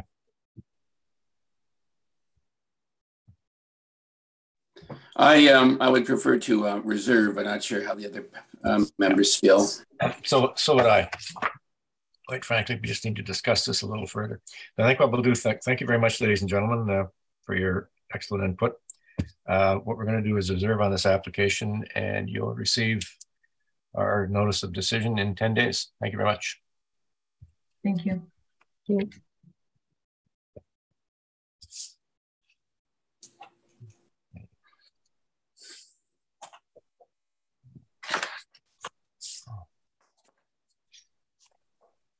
Yeah. Next application before us is item number nine on the agenda, 113 Lower Charlotte Street. This is a minor variance application to permit reductions to lot area, percentage of windows, soft landscaping, and facade setback for the conversion of the existing dwelling into a triplex. And the agent for this is Elena Levies, I believe is one of the owners. Yes. Hi, Mr. Chair. So your uh, your address for the uh, for the record, please. It is uh, 113 Lower Charlotte Street. Oh, you're in the building. I know. you want my home address? All right. Uh, before we be begin, we'll, we'll, have to do the uh, the oath and solemn declaration. Do you solemnly swear or affirm that the notice provided to you as part of the application process and by the committee was posted at the property to which the application applies for the prescribed number of days before the hearing and clearly visible and legible during the entirety of that time? I do. Okay. And before we start, the committee is curious exactly what is that dwelling right now? Duplex, triplex, fourplex? How many yep. how many housing units are in there? So it has three units currently. So it's currently a triplex. Um, that's the way it was when we bought it in March of this year. And uh, is that a legal triplex? It is not, which is why we are here today. Um, originally, we submitted a permit just to uh, do cosmetic changes inside. We want to make some plumbing changes to put in some new kitchen and bathrooms. And at that time, we were informed it had never received a permit for a legal triplex. And so um, we do have some variances that prevent us from uh, getting that completed. And that's why we're here today. And um, our understanding that the variances are all basically existing conditions. Yes. So as you can see, this is a historical building that's been on the property. You know, it's been a hundred year old building. It's been operating as a triplex for around 50 years. We're not making any changes to the structure, no changes outside. We literally just want to do some cosmetic changes inside with new kitchens and baths. Any plan to increase the amount of soft landscaping on the site? You seem to have a lot of asphalt. Yeah, so um, we tried, like we looked at it with our designer. Um, if you look at the front of the property and the photos that I tried to provide, um, at the front, there is like a significant amount of greenery. We have two very mature trees. We recently put in, you know, some gardens in the front, and um, there's a big side yard as well. Um, sorry, I'm not sure if you can maybe flip to the photo of the property that I provided in the report.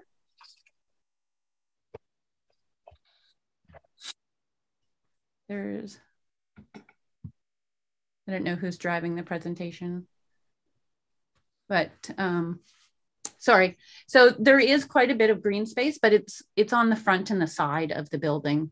Um, and then at the back is is paving, but we had wanted to keep that for the sole reason that it is um, where the shed is, where tenants will have access to um, garbage and recycling. And it also is on the one side where there's paving, it's where the fire escape is. So all our egress exits go out to that fire escape. And so we would want to keep snow removal and stuff below that fire escape in the wintertime. So we were concerned about reducing like getting rid of that hard landscaping and the impact on like just garbage recycling and definitely the fire escape. Okay understood. Um, from the public notice um, you're you're aware that variant c needs to be amended.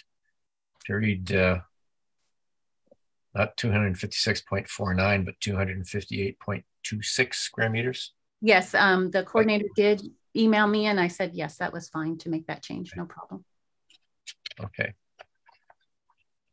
So regarding the uh, regarding the four tests, the Planning Act that we have to use to evaluate your application. Yes. Please. So um, looking at this property in regards to the rest of the, the neighborhood and understanding the streetscape, if you look at the soft landscaping to start with, I feel that we are in keeping with other properties within the neighborhood that are operating as multi-unit properties and or like tri- single residences with triplexes within them. So I, I feel like it's in keeping with what's expected in that neighborhood for that size of a, a rental unit. In Mm-hmm. terms of the, the setback, it would be the same. If you look at um, this neighborhood, it's very mature. It's in a in a dense neighborhood, um, and basically most of the uh, most of the soft landscaping looks the same. In terms of um, uh, sorry, what's the other one? Give me one second. I'm just going to look at my notes here. So that's soft landscaping. And then,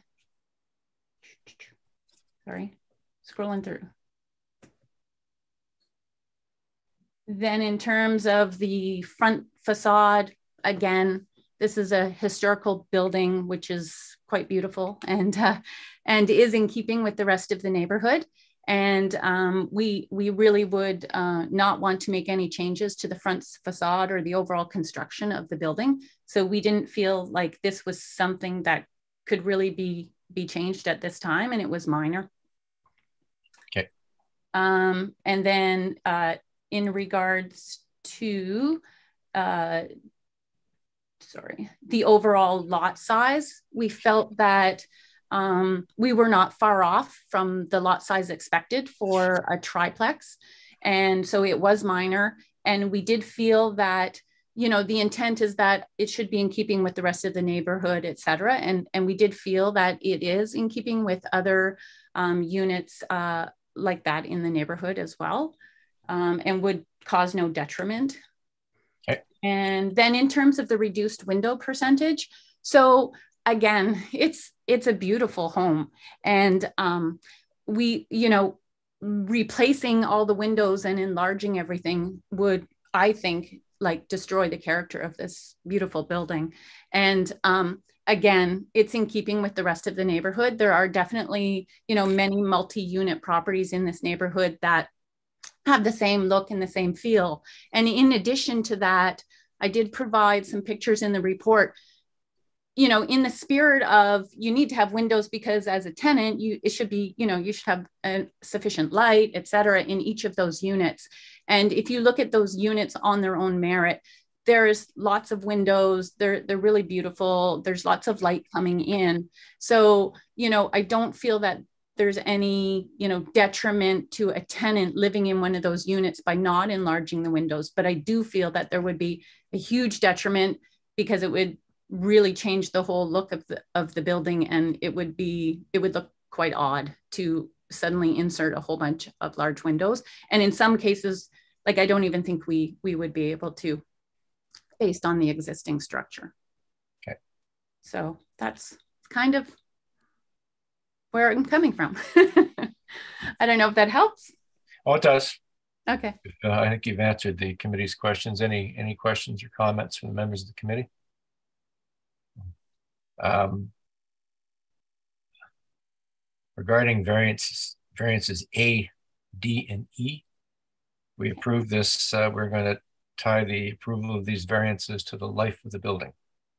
awesome Just thank you so much It's something we do on a on a on a fairly regular basis, especially with with older existing homes and and and variances that are existing conditions.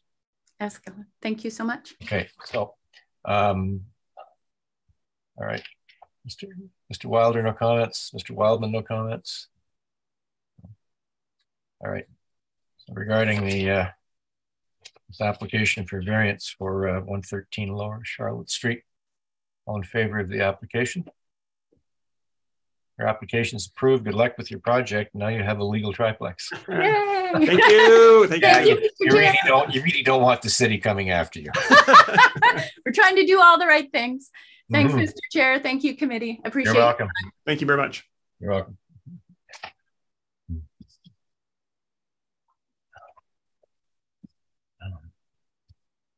All right.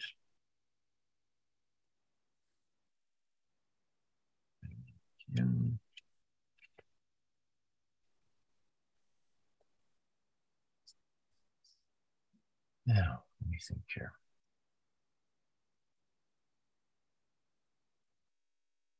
The next item I'll deal with on the agenda is item number 10.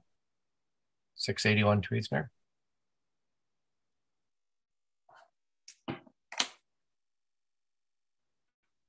And the agent for this uh, this application is Nadia DeSanti. This is a minor variance application permit increased height and rear yard setbacks for the construction of a slab on grade two-story coach house in the rear. Mr. Chair. My name is Nadia DeSanti. I'm a practice lead with WSP. And um, if I could... Your uh, address for the for the record, please. Oh, pardon me. It's 2611 Queensview Drive, okay. Suite 300. Okay. All right. This is a uh, this is a returning application. As you know, we uh, we you uh, dismissed your application on the fourth of May of this year. Yes. Uh, so first of all, Mr. Chair, I wish to uh, swear about the sign posting. Yep. yep. I was about to get to that. Okay. You solemnly swear, affirm, swear or affirm that the notice provided to you as part of the application process and by the committee was posted at the property to which the application applies for the prescribed number of days before the hearing and are clearly visible and legible during the entirety of that time. I swear. Okay. And I would um, welcome the opportunity to pre present our presentation. And I am joined today by Brian Sim, who is with the Ottawa General Contractors, and the landowners, Stephanie and Devin, are also here. Um, so if I can have the floor for five minutes, uh, part of this presentation will be shared by Brian and I, please. Yes. Thank you. So um, thank you for um, this, uh, this opportunity. And um, as I mentioned, I would like to run through this presentation. So if we could go to the next slide, please. So this site is located within the Westboro neighborhood on the east side of Tweedsmuir Avenue. The, uh, it's an existing two-story detached dwelling and a two-story detached garage. There are detached dwellings to the north and south with some semi-detached dwellings uh, to the east of the property.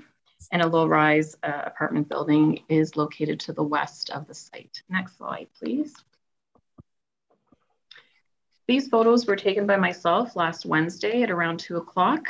Um, so this is a photo of the uh, existing house uh, with the Committee of Adjustment sign. And there um, is a driveway on the uh, north side of the property, so to the left, as well as um, to the um, south of the property or on the right-hand side uh, of the photo. Next slide, please. The um, existing detached garage is a two-story and it is at the uh, rear of the property. Um, it has a building height of 4.9 meters Right now, this uh, detached garage is mainly used for uh, accessory storage. Um, it's not occupied, no human occupation. Um, and there are structural issues that make this structure uh, um, um, somewhat unsafe. So you can see on the next slide a photo of this existing detached um, garage. I will note um, that at the time we made our application and submission, the proposed site plan showed um, a row of hedge, a hedge uh, along the property line. Those hedges have been removed and uh, the fence is under construction, which you can see in this photo and you'll see it even further. Uh, next slide, please. This shows the existing garage um, and the encroachment, and I have a photo that you will see that uh, right now the existing detached garage encroaches the uh, rear property line of 0.77 meters. And so the proposed development of the coach house would actually rectify that situation um, and uh, not, in, um, not have any kind of encroachment. Um, and the actually the proposed rear yard setback, which I will get to as well, is more than what the zoning bylaw requires. Next slide, please. So this photo shows the 0.77 meters of encroachment of the existing garage into the neighbor's property. So that is the Dover Court Housing Corpor Corporation. And so the um, this uh, proposed development would rectify that. I also want to um, note that this property has a much longer lot depth than the um, adjacent properties to the north and to the south. So it has a longer uh, lot depth than the uh, existing uh, sites, and the fence is under construction. Next slide, please. I'm going to turn it over to Brian to um, just review the original design that you saw back in May with our proposed um, design, and then I will get uh, back and speak to the minor variance test. Brian? You'll have to unmute yourself. Unmute. Thanks, Nadia. Appreciate that. Um, so uh, the original on the left-hand side, revised on a couple of the key points here. The building height, that's a very we're applying for. So we've taken that down the sides, less impact on the neighboring properties. Um, so not two story over the garage, scale that again. And then also on the far side, we've, we've tucked it in. So the height of the sec or the space of the second story is dramatically decreased, as well as the height was taken down as well, introducing uh, very limited attic space and slope ceiling. Um, basically taking that to as low as, as you know livable um, as as livable as possible in the second story, and then taking that footprint in to just really uh, decrease the impact on the neighboring properties uh, as far as um, shading or what have. And the uh, uh, next slide, please. You've removed the, uh, the, you no longer have a basement pr pr proposed for this coach house. You're there was not a basement in the original. Um, no basement in the original or the proposed. Okay, and the gross floor area of this coach house would be how much? 80 square meters. Just under footprint. 80 square meters, Mr. Um, Chair. you're looking for the footprint. Sorry, Mr. Chair. I said the gross floor area, not the footprint. Okay. This give me one second there. We're just going to be doing, we have the footprint. We're just going to do a quick calculation. Or where are the footprint? I'd like to know what the gross floor area is. Okay. Um, just give me one second here. My colleague is just doing a calculation for me. 940 including the garage. 940 including the garage. 940 square feet including the garage. That means square meters.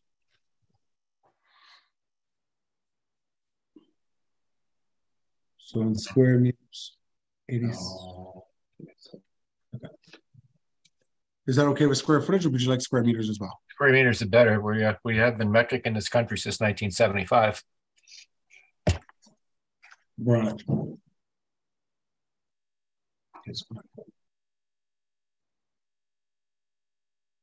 One hundred and two square meters. 102 square meters, including the garage.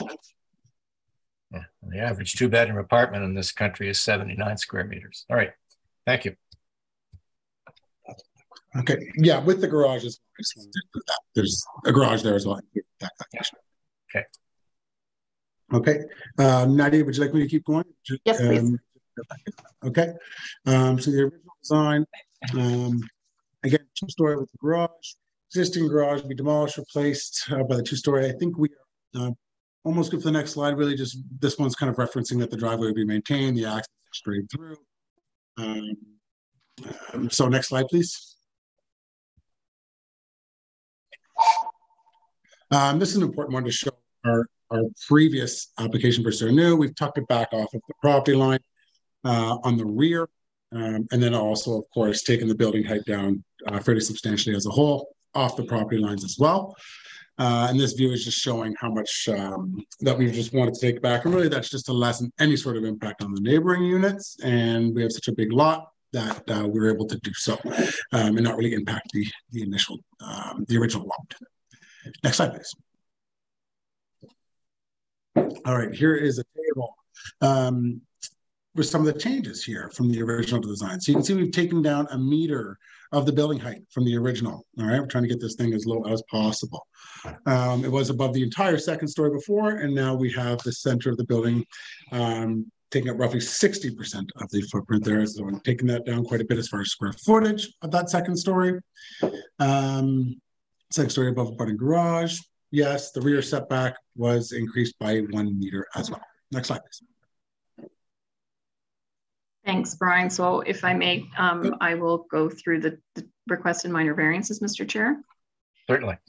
So the first um, variance is to permit a maximum building height of a coach house of 5.8 meters. Now the zoning bylaw permits a maximum coach house height of 3.6 meters, but I'd like to draw the committee's attention as per our planning rationale policy 3.1.1 um, has some subsections that um, provide criteria for additional height uh, for a two-story garage, uh, sorry, a two-story coach house uh, in the urban area. And so we have met all of those criteria in the city's existing official plan, which are outlined in our planning rationale. Um, the um, so the proposed uh, increase in height is minor, given that the existing two-story detached garage is right now at 4.9 meters. So we're asking for a building height of less than one meters to the existing um, to the existing garage. Um, pardon me, next slide, please. Thank you. And the second and final variance that we're seeking is to permit a maximum rear yard setback. So the um, zoning bylaw requires a maximum one meter rear yard setback. We're actually asking to increase that maximum to two meters. So actually providing more um, that um, we are increasing. One of the things I want to address as well, Mr. Chair, members of committee, is that through this process, we have um, met with uh, all of the neighbors. Um, there was a site tour that uh, Brian conducted on the property in July, um, and um, all the neighbors um, were had no concerns. And so, um, and our client Stephanie has also emailed the uh, the community association president twice, didn't hear any concerns. So I wanted to ensure that the committee knew um, it was indicated in our planning rationale, the public consultation process that was undertaken. Since the submission of the application, there was also additional outreach, as I mentioned, by Stephanie to the president of the community association, and there were no concerns raised. The next few slides are on the architectural elevations. I'm cognizant of time, so I'd like to just move on to the tests, please. Next slide. One more. Thank you. So the first tests are the minor uh, variances, um, are the variances minor. So the increase in height relatively uh, is minor compared to the existing garage, as I mentioned. Um, the effect on the existing character of the area and streetscape of the of Tweedsmuir would be minor because the existing garage would be replaced with a structure of similar footprint the existing garage has a building footprint of um, 60 square meters. Um, and the reason for the building uh, footprint for the coach house is to allow sufficient living and kitchen area on the first floor and a bedroom on the second story. The minor variance is, uh, is also minor um, given that um, the official plan has policies to increase the height of a coach house in urban areas, and we've met all of those criteria. Privacy of the abutting properties is not affected because no windows are proposed for the size of the coach house along the northern and eastern property lines. And as I mentioned, the um, uh, the hedge is uh, is down and there is a fence uh, that is being constructed. The second test are the variances desirable for the appropriate development or use of the property. Again, um, the proposed coach house would actually rectify an existing uh, encroachment. So the proposed uh, coach house would not encroach the properties um, to the rear to the east and would actually be uh, providing more space between the proposed coach house building from what exists today. The coach house would utilize the existing driveway and um, the proposed two-story coach house is compatible with the adjacent two-story developments that currently exist to the north and the east. Next slide, please. The third test, do the variances maintain the general intent and purpose of the zoning bylaw? So the site is zoned residential clear density, subzone R, which permits um, uh, permits detached dwellings and uh, coach house is a permitted use. Uh, the proposed variance maintains the general intent and purpose of the R3 zone by facilitating the development of other residential uses that would provide additional housing choices within the R3 zoned area. And um, the uh, requirements for the coach house um, um, all of the provisions are being met with the exception for building height. Again, the maximum rear yard setback is a decision that the owners have made to create more space between uh, their neighbors. So that's um, that's something that I want to make sure the committee um, is aware of. Therefore, the, the variance is, uh, is minor and would not result in negative impacts on the property properties. And finally, the fourth test on the next slide, please. Do the variances maintain the general intent and purpose of the official plan? As I mentioned, um, the site is designated general urban area in the current official plan. It um, allows for residential uses and, um, and development that is compatible. The proposed minor variances does not take away from the character of the neighborhood. The proposed development of the coach house um, would result in residential uh, intensification redevelopment in the general urban area that is permitted and the criteria for coach house development set out in the current official plan has been satisfied, including the requirements for a minor variance application for a two-story coach house to be considered. Proposed variance maintains the intent of the new official plan, so the site is in the inner urban transect um, and in the neighborhood designation. The proposed development contributes to the creation of new housing types while maintaining the low-rise built form of the area. And policy 4.2.2 1, sub 3 of the new official plan, which has been adopted by council but not yet approved by the Ministry of Municipal Affairs and Housing, recognizes accessory dwelling units, including coach, coach houses, as key components of the affordable housing network. That concludes our presentation. We're happy to answer any questions. Thank you. Thank you very much. Ms. McLean, you had a question or comment? Uh, thank you, Mr. Chair. Yeah, I, mean, I have some observations I want to make, and then uh, and then I'll just ask you to address them. Um, so I think what would have been helpful if we had seen the proposed coach house in context with the existing dwelling on the site, just to ensure um, how it's secondary or if it's secondary to the principal to the principal dwelling. Just want confirmation on what the uh, the current dwelling is is used is it a single or is it multiple units? And then what i'm hearing is that the um, new coach house is it's higher um, than the existing two-story garage.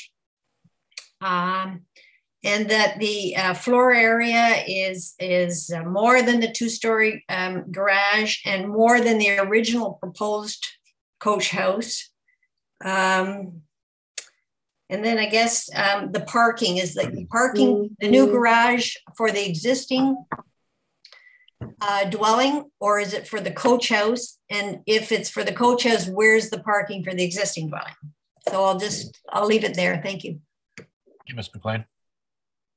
Through you, Mr. Chair. Um, so I might, could you just repeat? We've got the proposed coach house in context. So with that, um, through you, Mr. Chair. So um, the in our planning rationale on page six, there is figure six, which shows the um, proposed site plan. As well on page seven, figure seven is the rendering of the proposed coach house. You can see um, it is labeled where the existing single detached dwelling is located. Um, so those have been provided um, in our planning rationale to show the context of the proposed coach house in relation to um, the existing dwelling. And then as well, figure three on page four of our planning rationale shows the rear yard of the site. Uh, and in the red shading shows where that um, existing garage encroaches onto the neighboring property. So I just wanted to flag that. Um, the uh, it is a single detached um, house. It is uh, residential in uh, residential na- in nature. So there is um, our, our, clients are are here. They they live in the house. Um, and um, Stephanie, I don't. Thank you, Stephanie. If you wanted to maybe address that question. Um, yeah, yeah. So it's it's as uh, uh, the house is as lived. I live here with uh, you know my husband, my children, and my parents. Three. Thank you, Stephanie. Three, Mr. Chair. Sorry, Ms. McLean. I think I missed one other. Oh, the building footprint was your question. I think. Um, yeah, it was, it had also the parking, the park, the new parking garages for which, which building? And then, um, if it's for the coach house, where's the parking for the existing house? Yes, so, um, thank you three, Mr. Chair, regarding the parking, and then, um, I will get to, um, Brian for the building footprint. Um, and perhaps the building footprint could be provided, uh, without the garage component. So the new parking garage for the coach house is for the coach house. There is a long driveway that goes uh, through. Right now, there is a, the driveway goes, um, is wider in the front. And um, mm, Emily, maybe if you can pull up the presentation, it is shown on slide three, please, where I have the site photos. Uh, slide three. At, near the beginning of the presentation. Thank you. So um, through you, Mr. Chair, so there is a parking space right now. So that silver car, so I'm looking at the top left photo. Um, so there is a parking space right now that exists today. And then the driveway um, uh, is to the west of that, uh, to the north rather, to the left of the photo. So that driveway um, would be extended to go right into the garage of the proposed coach house. So Is that, that, that parking space in front of the existing dwelling legal? Looks like Um, front yard parking to me. so through you, Mr. Chair, the the owners have lived in this house for 11 years and this is how it was. That's not the Um, answer. That's not the answer. no, I answer. Realize that. for. Um, it hasn't been raised. It wasn't raised as a concern by city planning staff. So um, Mhm. Well, Yeah, that's kind of an existing usually, yeah, it's an, it is an existing condition, but just for the parking, Ms. McLean, this silver car would provide access. That would be the parking space for the existing home. And then the And- and- driveway would be extended to the rear. And then in that lower photograph, is there parking on the right-hand side? I see a white vehicle. So is this, is this a house have two driveways on each side, one on each side? Yes, the property has two driveways. So um, the, there's like an in-law suite onto the to the right. Uh, it's a single detached, but the as Stephanie mentioned, um, there are parents who live there, so their access is on the uh, the southern driveway where the white vehicle is. So that would remain. There's no proposed change to that driveway or to that access or to that portion of the property. Okay, thank you. And Brian, if I could uh, turn it over to you to answer the um, question on the building footprint, please. Absolutely. Yeah. And just to touch on the parking, I'm not, I believe that, um, that all those where the two cars are on the left, all of that parking is for, it's not shared with the other unit. They have their own parking, I believe. So there is a, it's double wide. So you'd be able to, to easily in and out coach um, if there is another car there. Um, it's quite wide, but we can go on the footprint as well. Our existing application, we are, you know, permitted for the 80 square meters. Our existing application was 72 square meters. Now we're up to 80. Um, 18 square meters of that is the garage. Um, so the, um, you know, the footprint of livable space there would be that 80 less 18 um, of actual livable uh, footprint. I think it's important to note that, um, you know, what, what, what portion of that the garage is taking up. Um, and of course, within the, uh, within the bylaw, you know, we've, we've, we're looking at coach home with a garage. Of course, it's pretty gray on there saying, hey, applications with a garage in the second story, um, you know, will be looked at through a minor variance. So that's, uh, you know, the, the garage is playing a, is playing a part in that as well in order to achieve um, the smallest second story in, uh, that we can in both height and mass. And through you, you, Mr. Chair, I just want to note the photo with um, the parking, that red vehicle is mine. So I parked on the site when I, uh, so uh, on the top left, that red vehicle is my vehicle. So that's um, not the owner. So um, just to clarify that. And also, um, as Brian mentioned, the maximum building footprint of a coach house permitted in the zoning bylaw is 80 square meters. So we are in keeping with that. We are not seeking a variance for a maximum building footprint. Thank you. Is Mr. Hamilton still with us?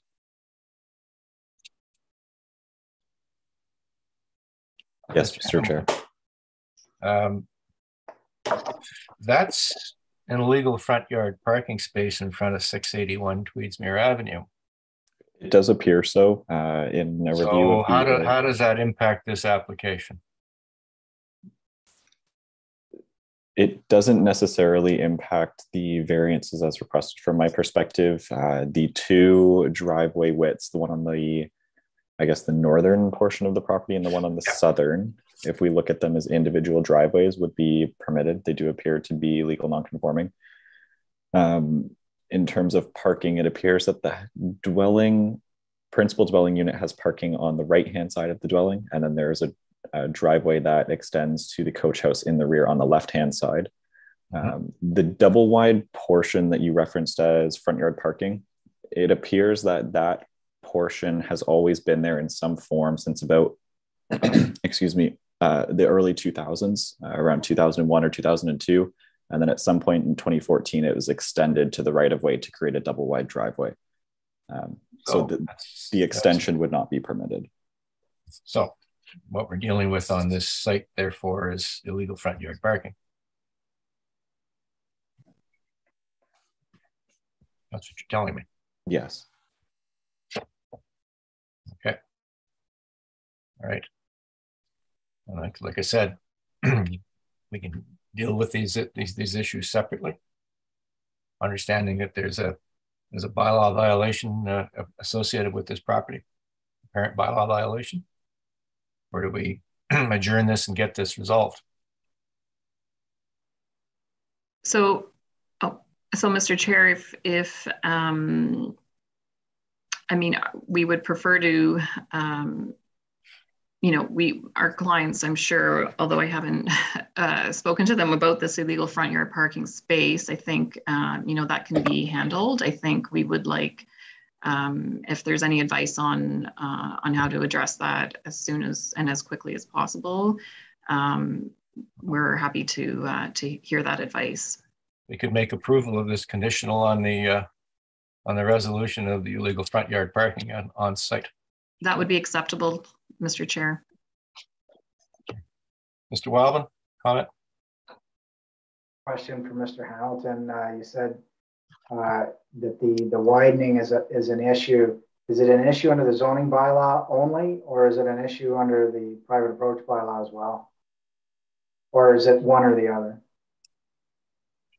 Through you, Mr. Chair, I suspect it could be through both. There are provisions in both bylaws that could cause issues with non-compliance. If I'm just thinking about the private approach bylaw right now, high level, I don't think there's necessarily an issue with the extension portion that's created front yard parking. Um, the large provisions are that there's no more than 50% of the lot frontage that's dedicated to right of way connections. Um, that's not the case in this instance.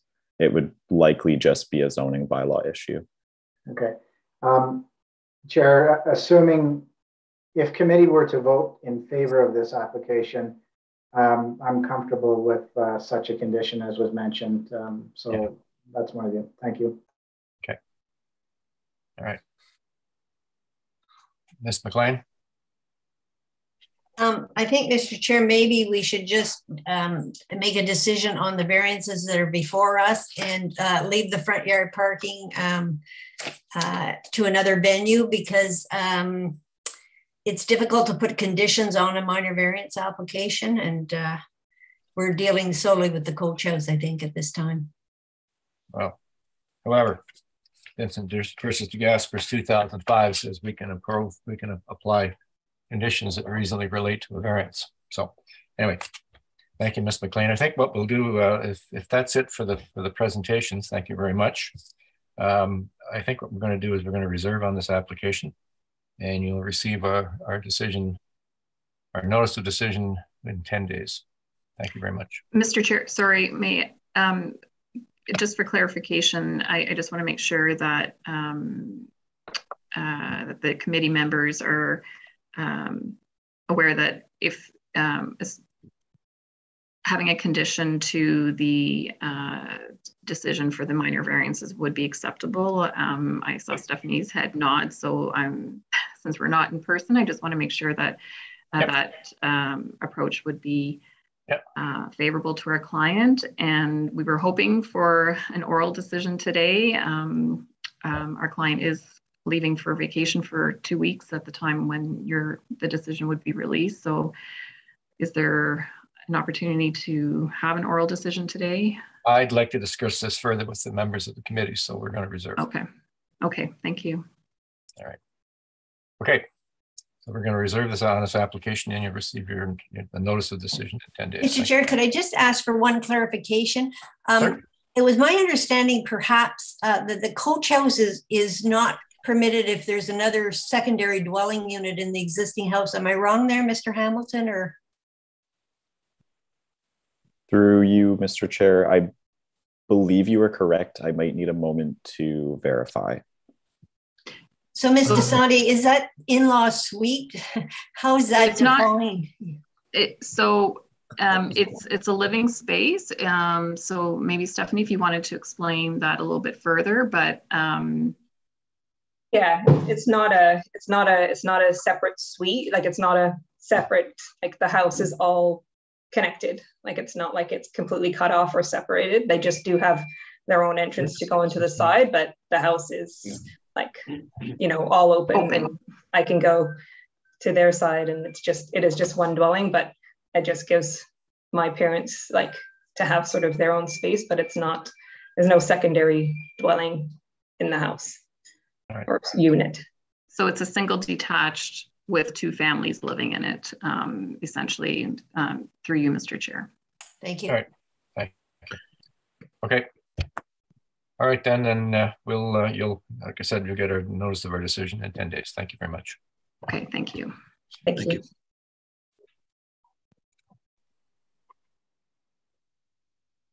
you. Okay. Uh,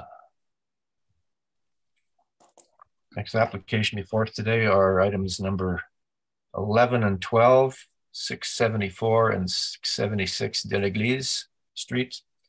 Uh, this was adjourned uh, because of questions re hydro and and, uh, and setbacks. Uh, the agent for this application is Mr. Robinson. Mr. Afternoon, Robinson. Chairman.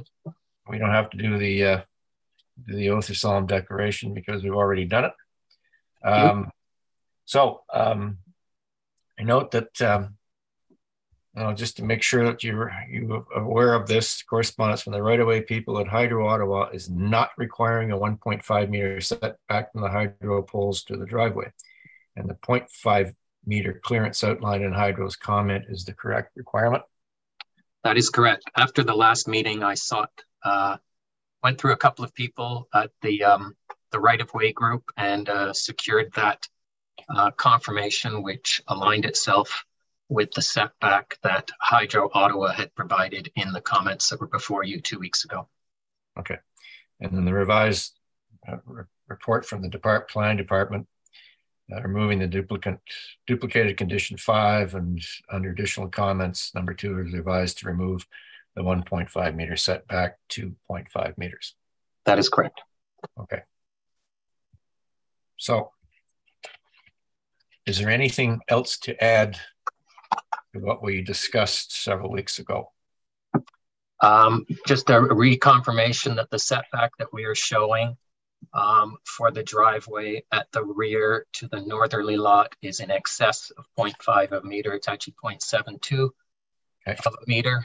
Um, there, um, there were comments about uh, provided by the members of the public about uh, a tree that is at the rear, which would not be impacted. That is a city tree, and we're not uh, impacting that. Servicing for these two triplex units would come in off the street, uh, the, the street with the municipal address. On the east side, it would come in through uh. Yeah. The requirements in, in the zoning bylaw are for actually for no parking, and we're providing one parking space uh, per uh, unit. And you've seen the correspondence from the neighbor who was on the speaker's list but couldn't make it this afternoon, talking about the uh, negative externality of parking in the neighborhood caused by your development. Yes, I just received uh, those comments uh, middle of this morning. Um, any, any, response to the uh, to that neighbor? The uh, as indicated, the bylaw does not uh, throughout this area and large areas of the city. Uh, when you have up to 12 units, you do not have to provide any parking. Um, the the owners of the building are going to make it quite abundantly clear to uh, tenants that there is only one parking space per unit. So when the building is occupied and somebody has already uh, secured that parking space, mm-hmm. um, no new people can, they can't bring their own cars to the, uh, the facility because there is no dedicated parking space for them. All right. Okay. All right. Any, uh, any further comments questions from the members of the committee regarding this this application that we adjourned several weeks ago? Everyone's happy with the uh, with Hydro's confirmation of setback requirements. Mr. Wildman, you're good with that? Okay. All right. So to the four tests, Mr. Robinson. Thank you. The four tests of the uh, of a minor variance under the Planning Act are there to maintain the general intent and purpose of the official plan, general intent and purpose of the zoning by bylaw be desirable for the appropriate development or use of the land, building, or structure and be minor in nature. In terms of being uh, maintaining the general intent and purpose of the official plan, in the full force and effect official plan, the property is in a general urban area designation which permits a range of housing types. Section 3.6.1 Policy 5 supports intensification in this designation where it complements the scale of development and the planned function of the area. The neighborhood has other examples of triplex buildings and sixplex buildings, and the proposed development is of a scale that maintains the low-rise pattern of the neighborhood. In the new official plan, the property is in an inner urban transect official plan designation. Policies within that transect indicate that developments are encouraged to move towards an urban built form pattern. As a small scale intensification on each of the lots of this overall property for a triplex on each, the proposal is in conformity with the official plan designation for the lands and maintains the general intent and purpose of the official plan, which allows for a variety of ground-orientated multiple housing forms. It maintains the general intent and purpose of the zoning bylaw. The R4 UA zone permits triplex units, and there are variances requested for a 2.4% reduction in lot area, approximately seven square meters per lot, and a 4% reduction in lot width, uh, 0.4 meters approximately, which are quite small reductions and reflect the existing shape and size of the lot. All other zoning provisions are met, including building heights, setbacks, softscaping requirements, and permitted projections. Desirable for the appropriate development and use of the land, it is proposed at a scale in keeping with the overall neighborhood, which has a number of triplex and sixplex units on larger on, in the area. It contains a large area of R4 zoned lands, the neighborhood does, which permits this type of residential intensification. It has been designed to only require variances based on the current shape and size of the lot, and those variances are quite small in nature. The proposal is in general conformity with the existing pattern of development and future pa patterns of development based on the zoning and official plan policies. Minor in nature. The variances being requested are quite small and minor in nature, and all other performance standards have been met. The requested variances reflect the shape and size of the lot, and I would indicate as well that the planning department had no concerns with this application. Yes, we note that. Thank you. Um, you're aware of the conditions. We just go over them for the benefit of everybody. Uh, cash in lieu parkland, a tree planting plan needs to be provided. Yep. Development agreement or letter of undertaking to prepare and implement the tree planting plan and securities of $400 per tree for a period of one year. Yes. Existing dwelling removed and services capped, standard stuff. Existing structure straddling the proposed severance line has been demolished, confirmation of that. And drainage and draining plan, uh, drainage and breeding and drainage plan, again, standard condition, and a development agreement for asphalt overlays. Um, just a, a, couple of notes. Um, obviously, items four and five have now been merged together into one as there was yeah. a duplication. Yeah. So then the numbering correct, scheme, the numbering scheme is reduced yeah. by one. So the fi the final condition, which is listed as eight, but really should be seven. Um, I was wondering if there could be something if we. Um, it talks about an asphalt overlay on uh, Morgan Street or de l'Église. My, my understanding is it would be on de l'Église because that's where the servicing connections would come.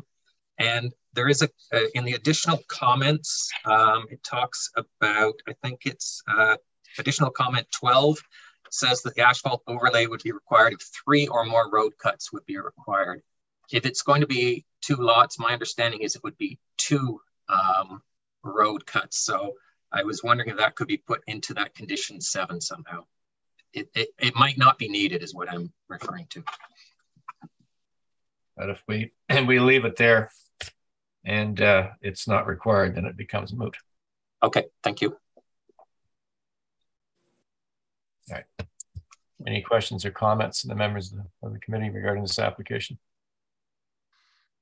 All right. Well, we've had confirmation that hydro that setbacks are okay. Uh, are we prepared to vote?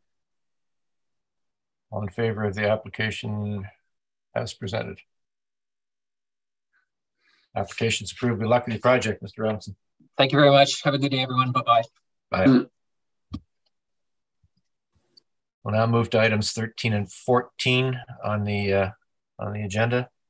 424 Avondale. And this is uh, Mr. Daou, I believe, is the uh, is the applicant's agent. Ms. Daou. Good afternoon, Mr. Chair. Your address for the record, please. 43 Eccles Street, Unit C, Ottawa. Okay. Uh, you're aware that the that the planning department has some concerns with this application. So you can definitely uh, address that. Uh, and we do have a question, quite frankly, before we, oh, I better do the uh, solemn oath or declaration. Do you solemnly swear or affirm that the notice provided to you as part of the application process and by the committee was posted at the property to which the application applies for the prescribed number of days before the hearing and clearly visible and legible during the entire that time? I affirm. Okay. Um, the Bell easement that was uh, that is that is being requested. Does that Bell easement impact the design of the uh, of the of the new homes, or does the is the applicant's objection to the Bell easement simply an objection? Um, through you, Mr. Chair, the Bell easement uh, does not impact the actual design of the homes. It's at the most uh, southerly lot line and runs the entire length uh, from east to west across the rear of the property.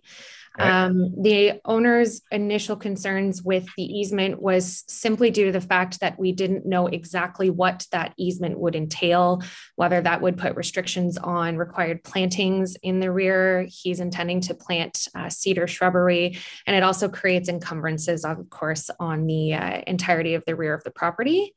Um, however, through discussions with his legal representation, uh, the owner is agreeing to the condition as proposed by Bell, and they will have further further discussions following um, the committee's decision regarding those easements and the, what they exactly will entail. So there's no, no longer an objection to the easement. That's correct, yes. Okay. So um, just uh, briefly through the uh, through the application, please, and concentrate on the uh, on the four tests, if you would, please. Absolutely. So um, this application is for proposed consent and minor variances to facilitate uh, the development of two single detached dwellings at 424 Avondale Avenue. This site is directly across from the intersection, the T intersection of Cole Avenue. Um, next slide, and I'll just skip that slide as well. Um, the proposed Yes, sorry, thank you. Uh, so this site presently contains a single detached dwelling with a detached garage and a driveway along the west side of the property. Um, this neighborhood is characterized primarily by single detached dwellings as well as semi-detached dwellings uh, and a variety of ages of construction, many of which have recently been developed or approved, and uh, many which are existing older homes. And um, a quite uh, high number of the properties contain uh, front-facing attached garages, including the properties to both the immediate east and west of the property. Um, to the east of the property is a single detached dwelling with paired driveways in the center of the property, each of which feature front facing attached garages. Next slide, please. So the proposal again is to sever the property into two parcels, uh, with parts one being West Parcel A, the severed, parts two being uh, Parcel B, and facilitating the construction of two new singles with one dwelling unit on each lot. Each lot will require an 8.5 meter um, lot width, which requires a reduction to the um, zoning requirement of 10 meters. And actually, this is a good point in time to just uh, note that there was a correction requested to the notice. Yeah, um, variance is A and E to uh, that's correct. 8.85 from 8.5. That's correct. Yeah. So just noted for the for the notice. And, and your zoning descriptions changed as well to uh, R4UA bracket 2686 on bracket H bracket 8.5 on bracket. That's correct. Okay. Um, so while there is a requested lot width reduction, uh, the lot area proposed for the site does exceed the zoning requirements of 300 meters squared with 307.7 meters squared proposed. Um, the lot shapes and dimensions are appropriate and compatible with the surrounding character of the neighborhood, providing much, uh, added density that's appropriate um, and a form of gentle intensification to the urban area and meet the criteria under section 5124 of the Planning Act. And I apologize, there is a typo on the uh, slide. Uh, next slide, please. In addition to the required reduced lot width variance, um, the following variances are also required, which are the same for each development, being a reduced interior side yard setback of 1.2 meters along both the east and west lot lines, whereas one and a half meters is required, as well as a permitted uh, front-facing attached garage, whereas that is not presently committed, uh, permitted by the results of the streetscape character analysis. Okay. Next slide, please. A fourth variance is required to permit an increase in building height of 9.04 meters, whereas 8.5 meters is required. Um, I would like to reiterate that this is a very technical request. Um, there's been a significant amount of due diligence that has been undertaken with the owner, architect, um, city engineers, as well as um, the consulting engineer to confirm uh, the existing grading situation and how to rectify that through the proposed development. Uh, so this law lot is part of, and this was described in, at length in the cover letter as well, of course, um, but this lot was part of the formal, former Cole Avenue, which was closed by a judge's order and then redeveloped. And it appears that when redeveloped, the grading was never changed and brought up to an appropriate standard, which is compatible with the adjacent properties, um, all surrounding it from all sides. So, because of that grading situation, there's potential issues for flooding and water management on site. And so the grade does need to be raised um, to reflect what's something that's much more appropriate for the surrounding community before any form of development can be undertaken on the property. Um, so the proposed grade, uh, the proposed grade raise and the proposed height request increase match exactly at 0.54 meters. And so once considered from the proposed new grade, which would be actually the corrected grade and more appropriate for the site, the dwelling actually would still meet the required zoning if the existing average grade would be considered um, from a more reasonable perspective um, from the outset. So I'll go into the four tests in the next slide, please. So the requested reduction in lot width is minor in this case. The proposed lot area again exceeds zoning requirements, and this neighborhood does contain a variety of lot fabrics and sizes in a mix of singles and semis. The existing lot width would permit semis, townhouses, or a six unit apartment development as of right. Uh, however, given the surrounding context, the ground orient development in the format of two singles is much more appropriate and compatible uh, in terms of land use and density for this context. The requested variances to permit the reduced side yard setbacks is minor as the building envelope is proportionate and appropriately responds to the proposed lot widths with a very consistent built form and scale along this streetscape.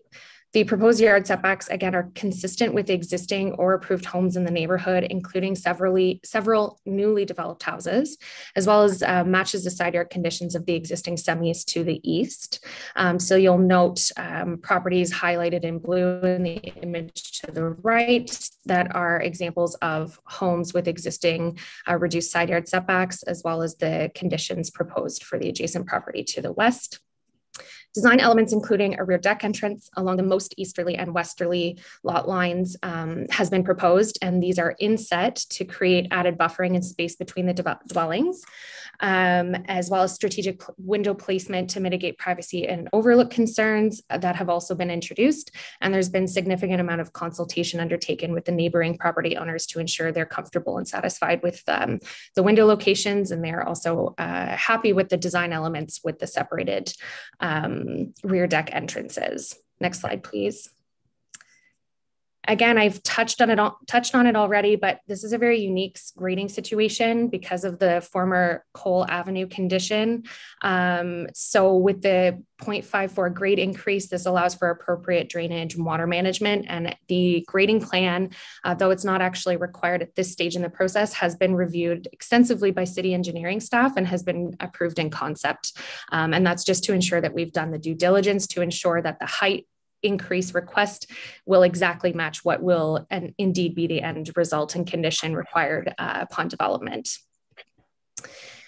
Uh, this proposed flat roof design is also lower than the existing semis to the east, as well as recently approved conditions to the west, which was a permitted height of 10 meters.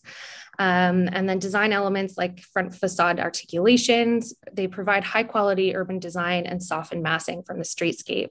Uh, so this the proposed um, building height will not um, have any, the increase will not have any effect on the streetscape character and will be highly compatible with the existing conditions and proposed approved conditions. In terms of the front facing attached garages on the next slide, um, this request is minor. The streetscape character analysis results demonstrate that nine properties do not have front facing attached garages and eight properties do. So there's only a difference of one garage condition um, that would otherwise permit this application to proceed as of right. Uh, the streetscape character analysis results again do not factor in corner lots. So directly across from this property at the intersection of Cole Avenue and Avondale Avenue, there is a single detached dwelling with an attached front facing garage. It faces onto Cole Avenue and therefore it is not considered, but it does form part of the overall streetscape character. And that is the same condition for just down the street at the corner of Roosevelt. Um, so if considering those two additional properties only, this project uh, would be permitted as of right. And that's not factoring in extending those conditions even just one block further to the east and west along either side. Um, again, this property is flanked immediately by front facing attached garages, existing conditions, both to the east and west, with one of them being paired, giving the appearance of actually a double garage. Um, so the proposed development will be certainly in keeping with the existing character and conditions of the community. Any potential impacts from the introduction of garage have been mitigated with the introduction of high quality urban design and materiality for the door. And the door is further recessed from the front wall of the street, placing less prominence on um, parking in the garage facade, with the canopy and the front entrance being located at grade and drawn closer to the street, um, providing that interesting articulation and interaction with the pedestrian realm. So we are of the opinion that this request in this case is minor.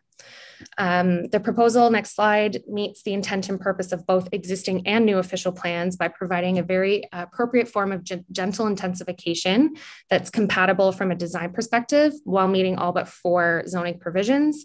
Uh, this proposal introduces ground oriented family sized units that are appropriate massing and scale for the community. Um, and they're compatible with uh, the existing and surrounding conditions. Soft landscaping is retained on site and trees are to be protected with new trees to be planted. And this proposal truly rectifies an existing grading issue and potential water management issue on site while respectfully responding to its existing surroundings.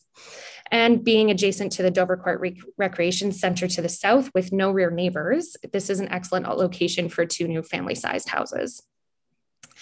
Uh, the proposal meets the intent of the zoning. Uh, with next slide, uh, the lot width intention is to ensure that there's appropriate building separation, open space, and lot, consistent lot fabrics for all development forms across the Westboro development overlay. And this is consistent across uh, the majority of proposed uses, with the exception of semi-detached and townhouse dwellings.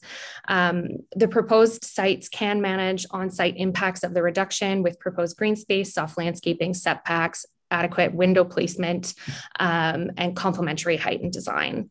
So the development of these two singles allows for increased open space and soft landscaping actually compared to a semi-detached dwelling, which would overall have a larger massing and reduce side yard by a total width of 2.4 meters across the entire depth of the property. And again, this proposed um, lot width exceeds zoning requirements for lot area and therefore um, is very appropriate and compatible with the intent of the uh, zoning bylaw. The interior side yard setback reduction, um, again, this intent is to ensure that multi-unit buildings and singles are all held to the same standard to provide uh, one and a half meter separation for access to rear yards. And that intention is um, for maintenance equipment, garbage, so forth.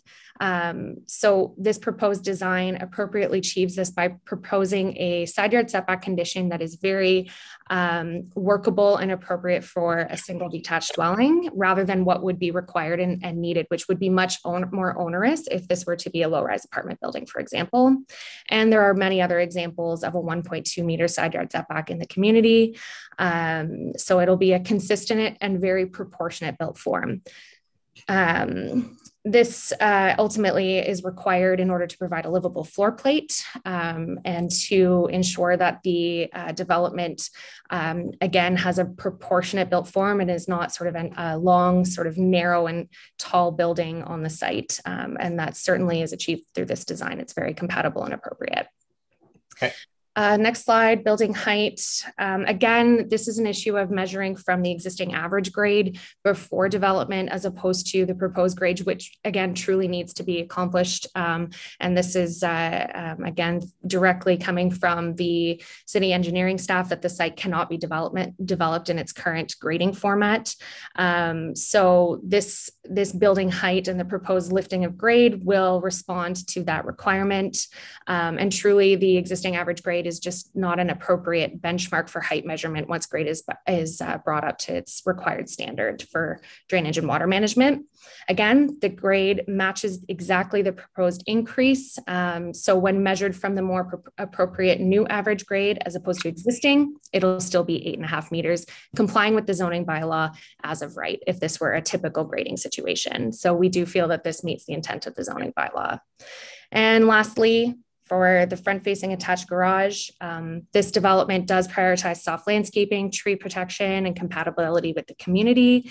The garage door is further recessed from the front facade for additional um, setbacks and to lessen, lessen its visual impacts. And it's bordered by um, existing conditions with uh, front facing attached garages. There's again only a difference of one permitted. And if it were to, if this SCA was including um, other properties on site that should theoretically be counted towards the overall streetscape character, then this would be compliant. Finally, the proposed variances facilitate the appropriate and gentle intensification of the site.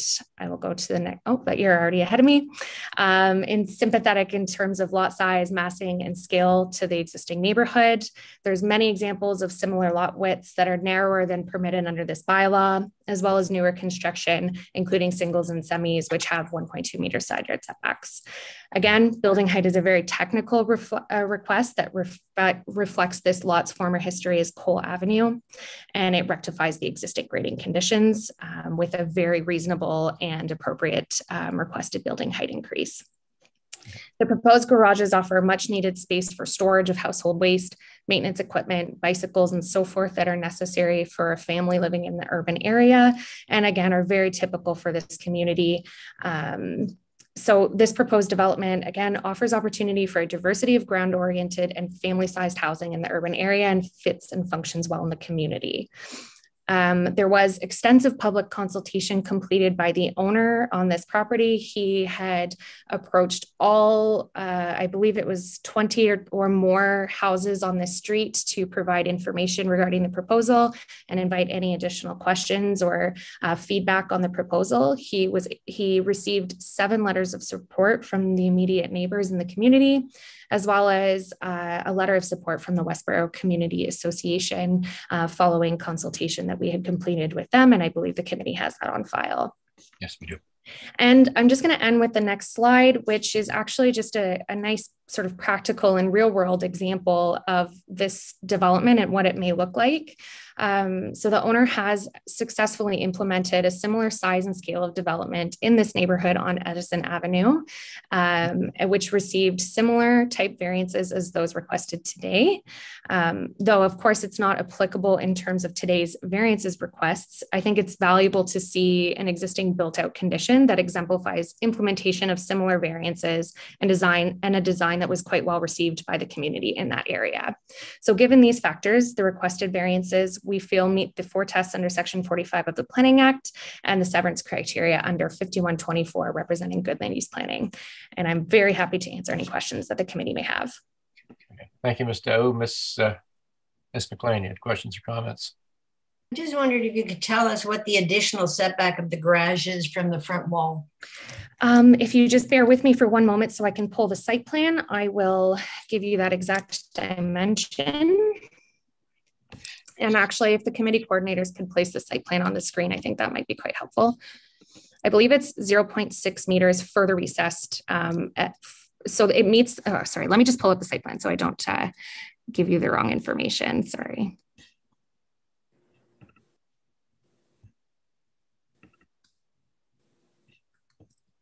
So the setback line of the garage, um, so the front, the way that the, and perhaps the architect could actually speak to this a little bit better because he understands the design through and through. The setback of the garage line is recessed the 6.6 meters from the front wall of the building, but then there's an additional, I believe it's a brick facade um, that adds some additional buffering and visual, um, sort of visual concealing of the garage door. Um, Justin, could you explain that situation a little bit for for me. Justin Sagan, he's the project architect. Yeah, no problem. Thanks, Jessica. Appreciate that. Um, so just the, the front garage door does conform with the bylaw requirements to be set back 0.6 meters from the front property line. Um, it's just done in a way that it's articulated so that part of the facade does meet the front property line, whereas the garage access and its door itself is recessed at 0.6 meters just to hide the door even more when compared to the rest of the front facade. So I hope that uh, clarifies. Hi, yes, thank you. I believe we also have, uh, th thank you, Ms. Dahu. I think we have uh, Ms. Mitchell from the Westboro Community Association who wishes to speak to this application. Yeah, hi. We just wanted to provide our support for this application. Um, we find the design very attractive and we feel it will enhance this particular block on Avondale. This site is very thorny um, it's very difficult to work with. Um, and we're very pleased that someone has chosen to take it on and add to the attractive feeling uh, of the neighborhood.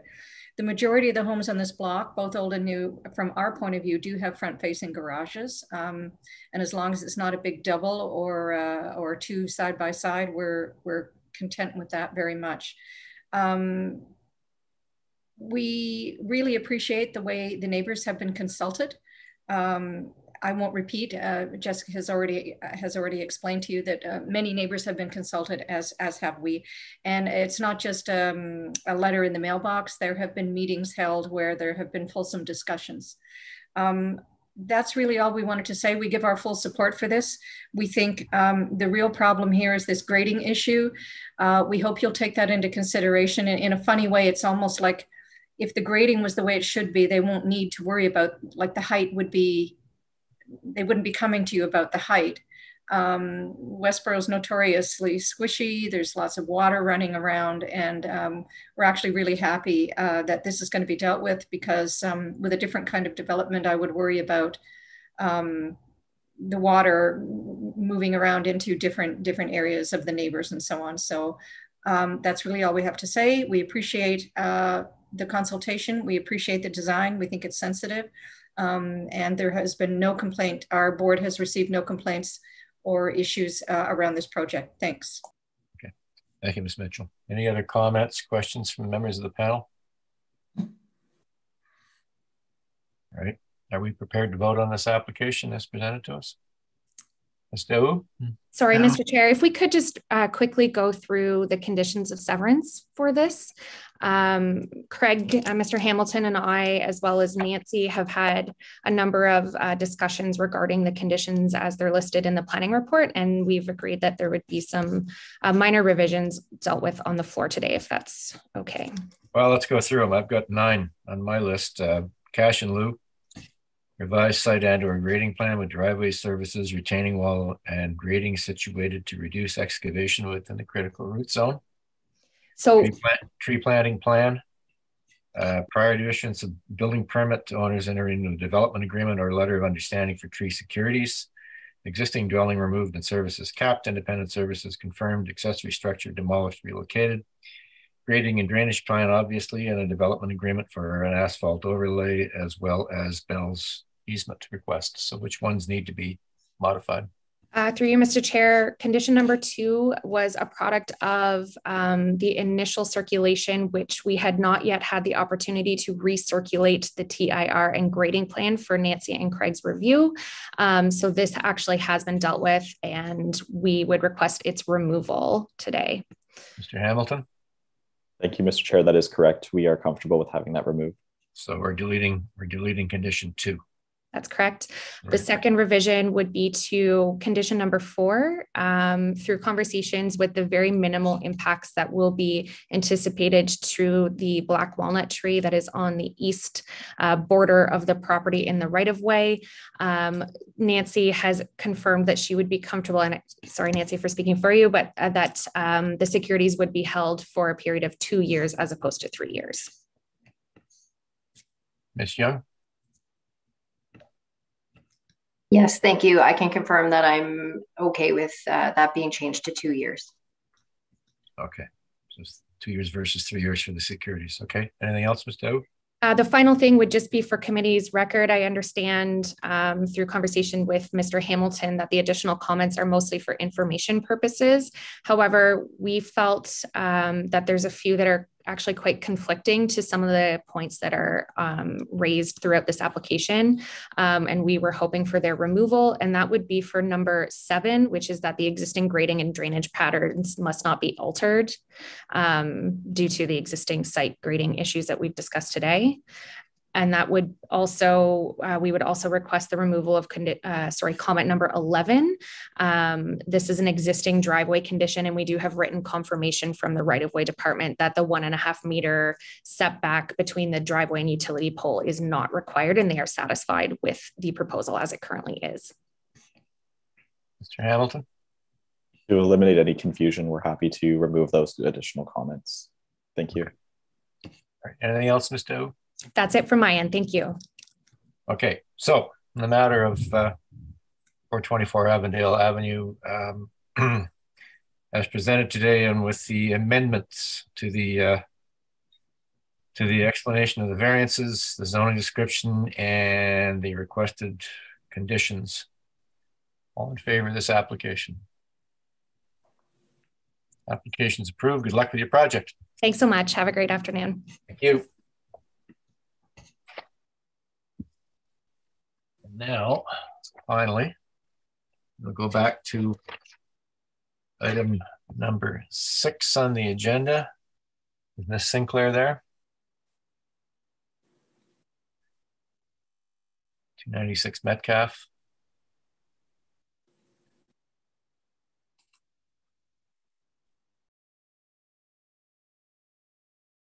Ms. Sinclair. Yes. All right. We've had discussions with the applicant regarding the restriction of uh, of the uh, of the uh, permission to those two uses. Yes, I've had an opportunity to speak with uh, parties, and they are agreeable to the restriction to the the dental um, office, laboratory, and practice. So okay, so we'll put a condition in then to uh, to uh, medical medical facility limited to those two uses. Okay. All right. So with that, um, any comments or questions from the members of the panel? All right. Vote on this, all in favor of the permission application for two ninety-six Metcalfe Street as modified. No discussions. Your application is approved. Thank you. Thank you. Chairman, Members of committee. Thank you. You're welcome. That concludes the uh, the normal agenda for today. We will now move into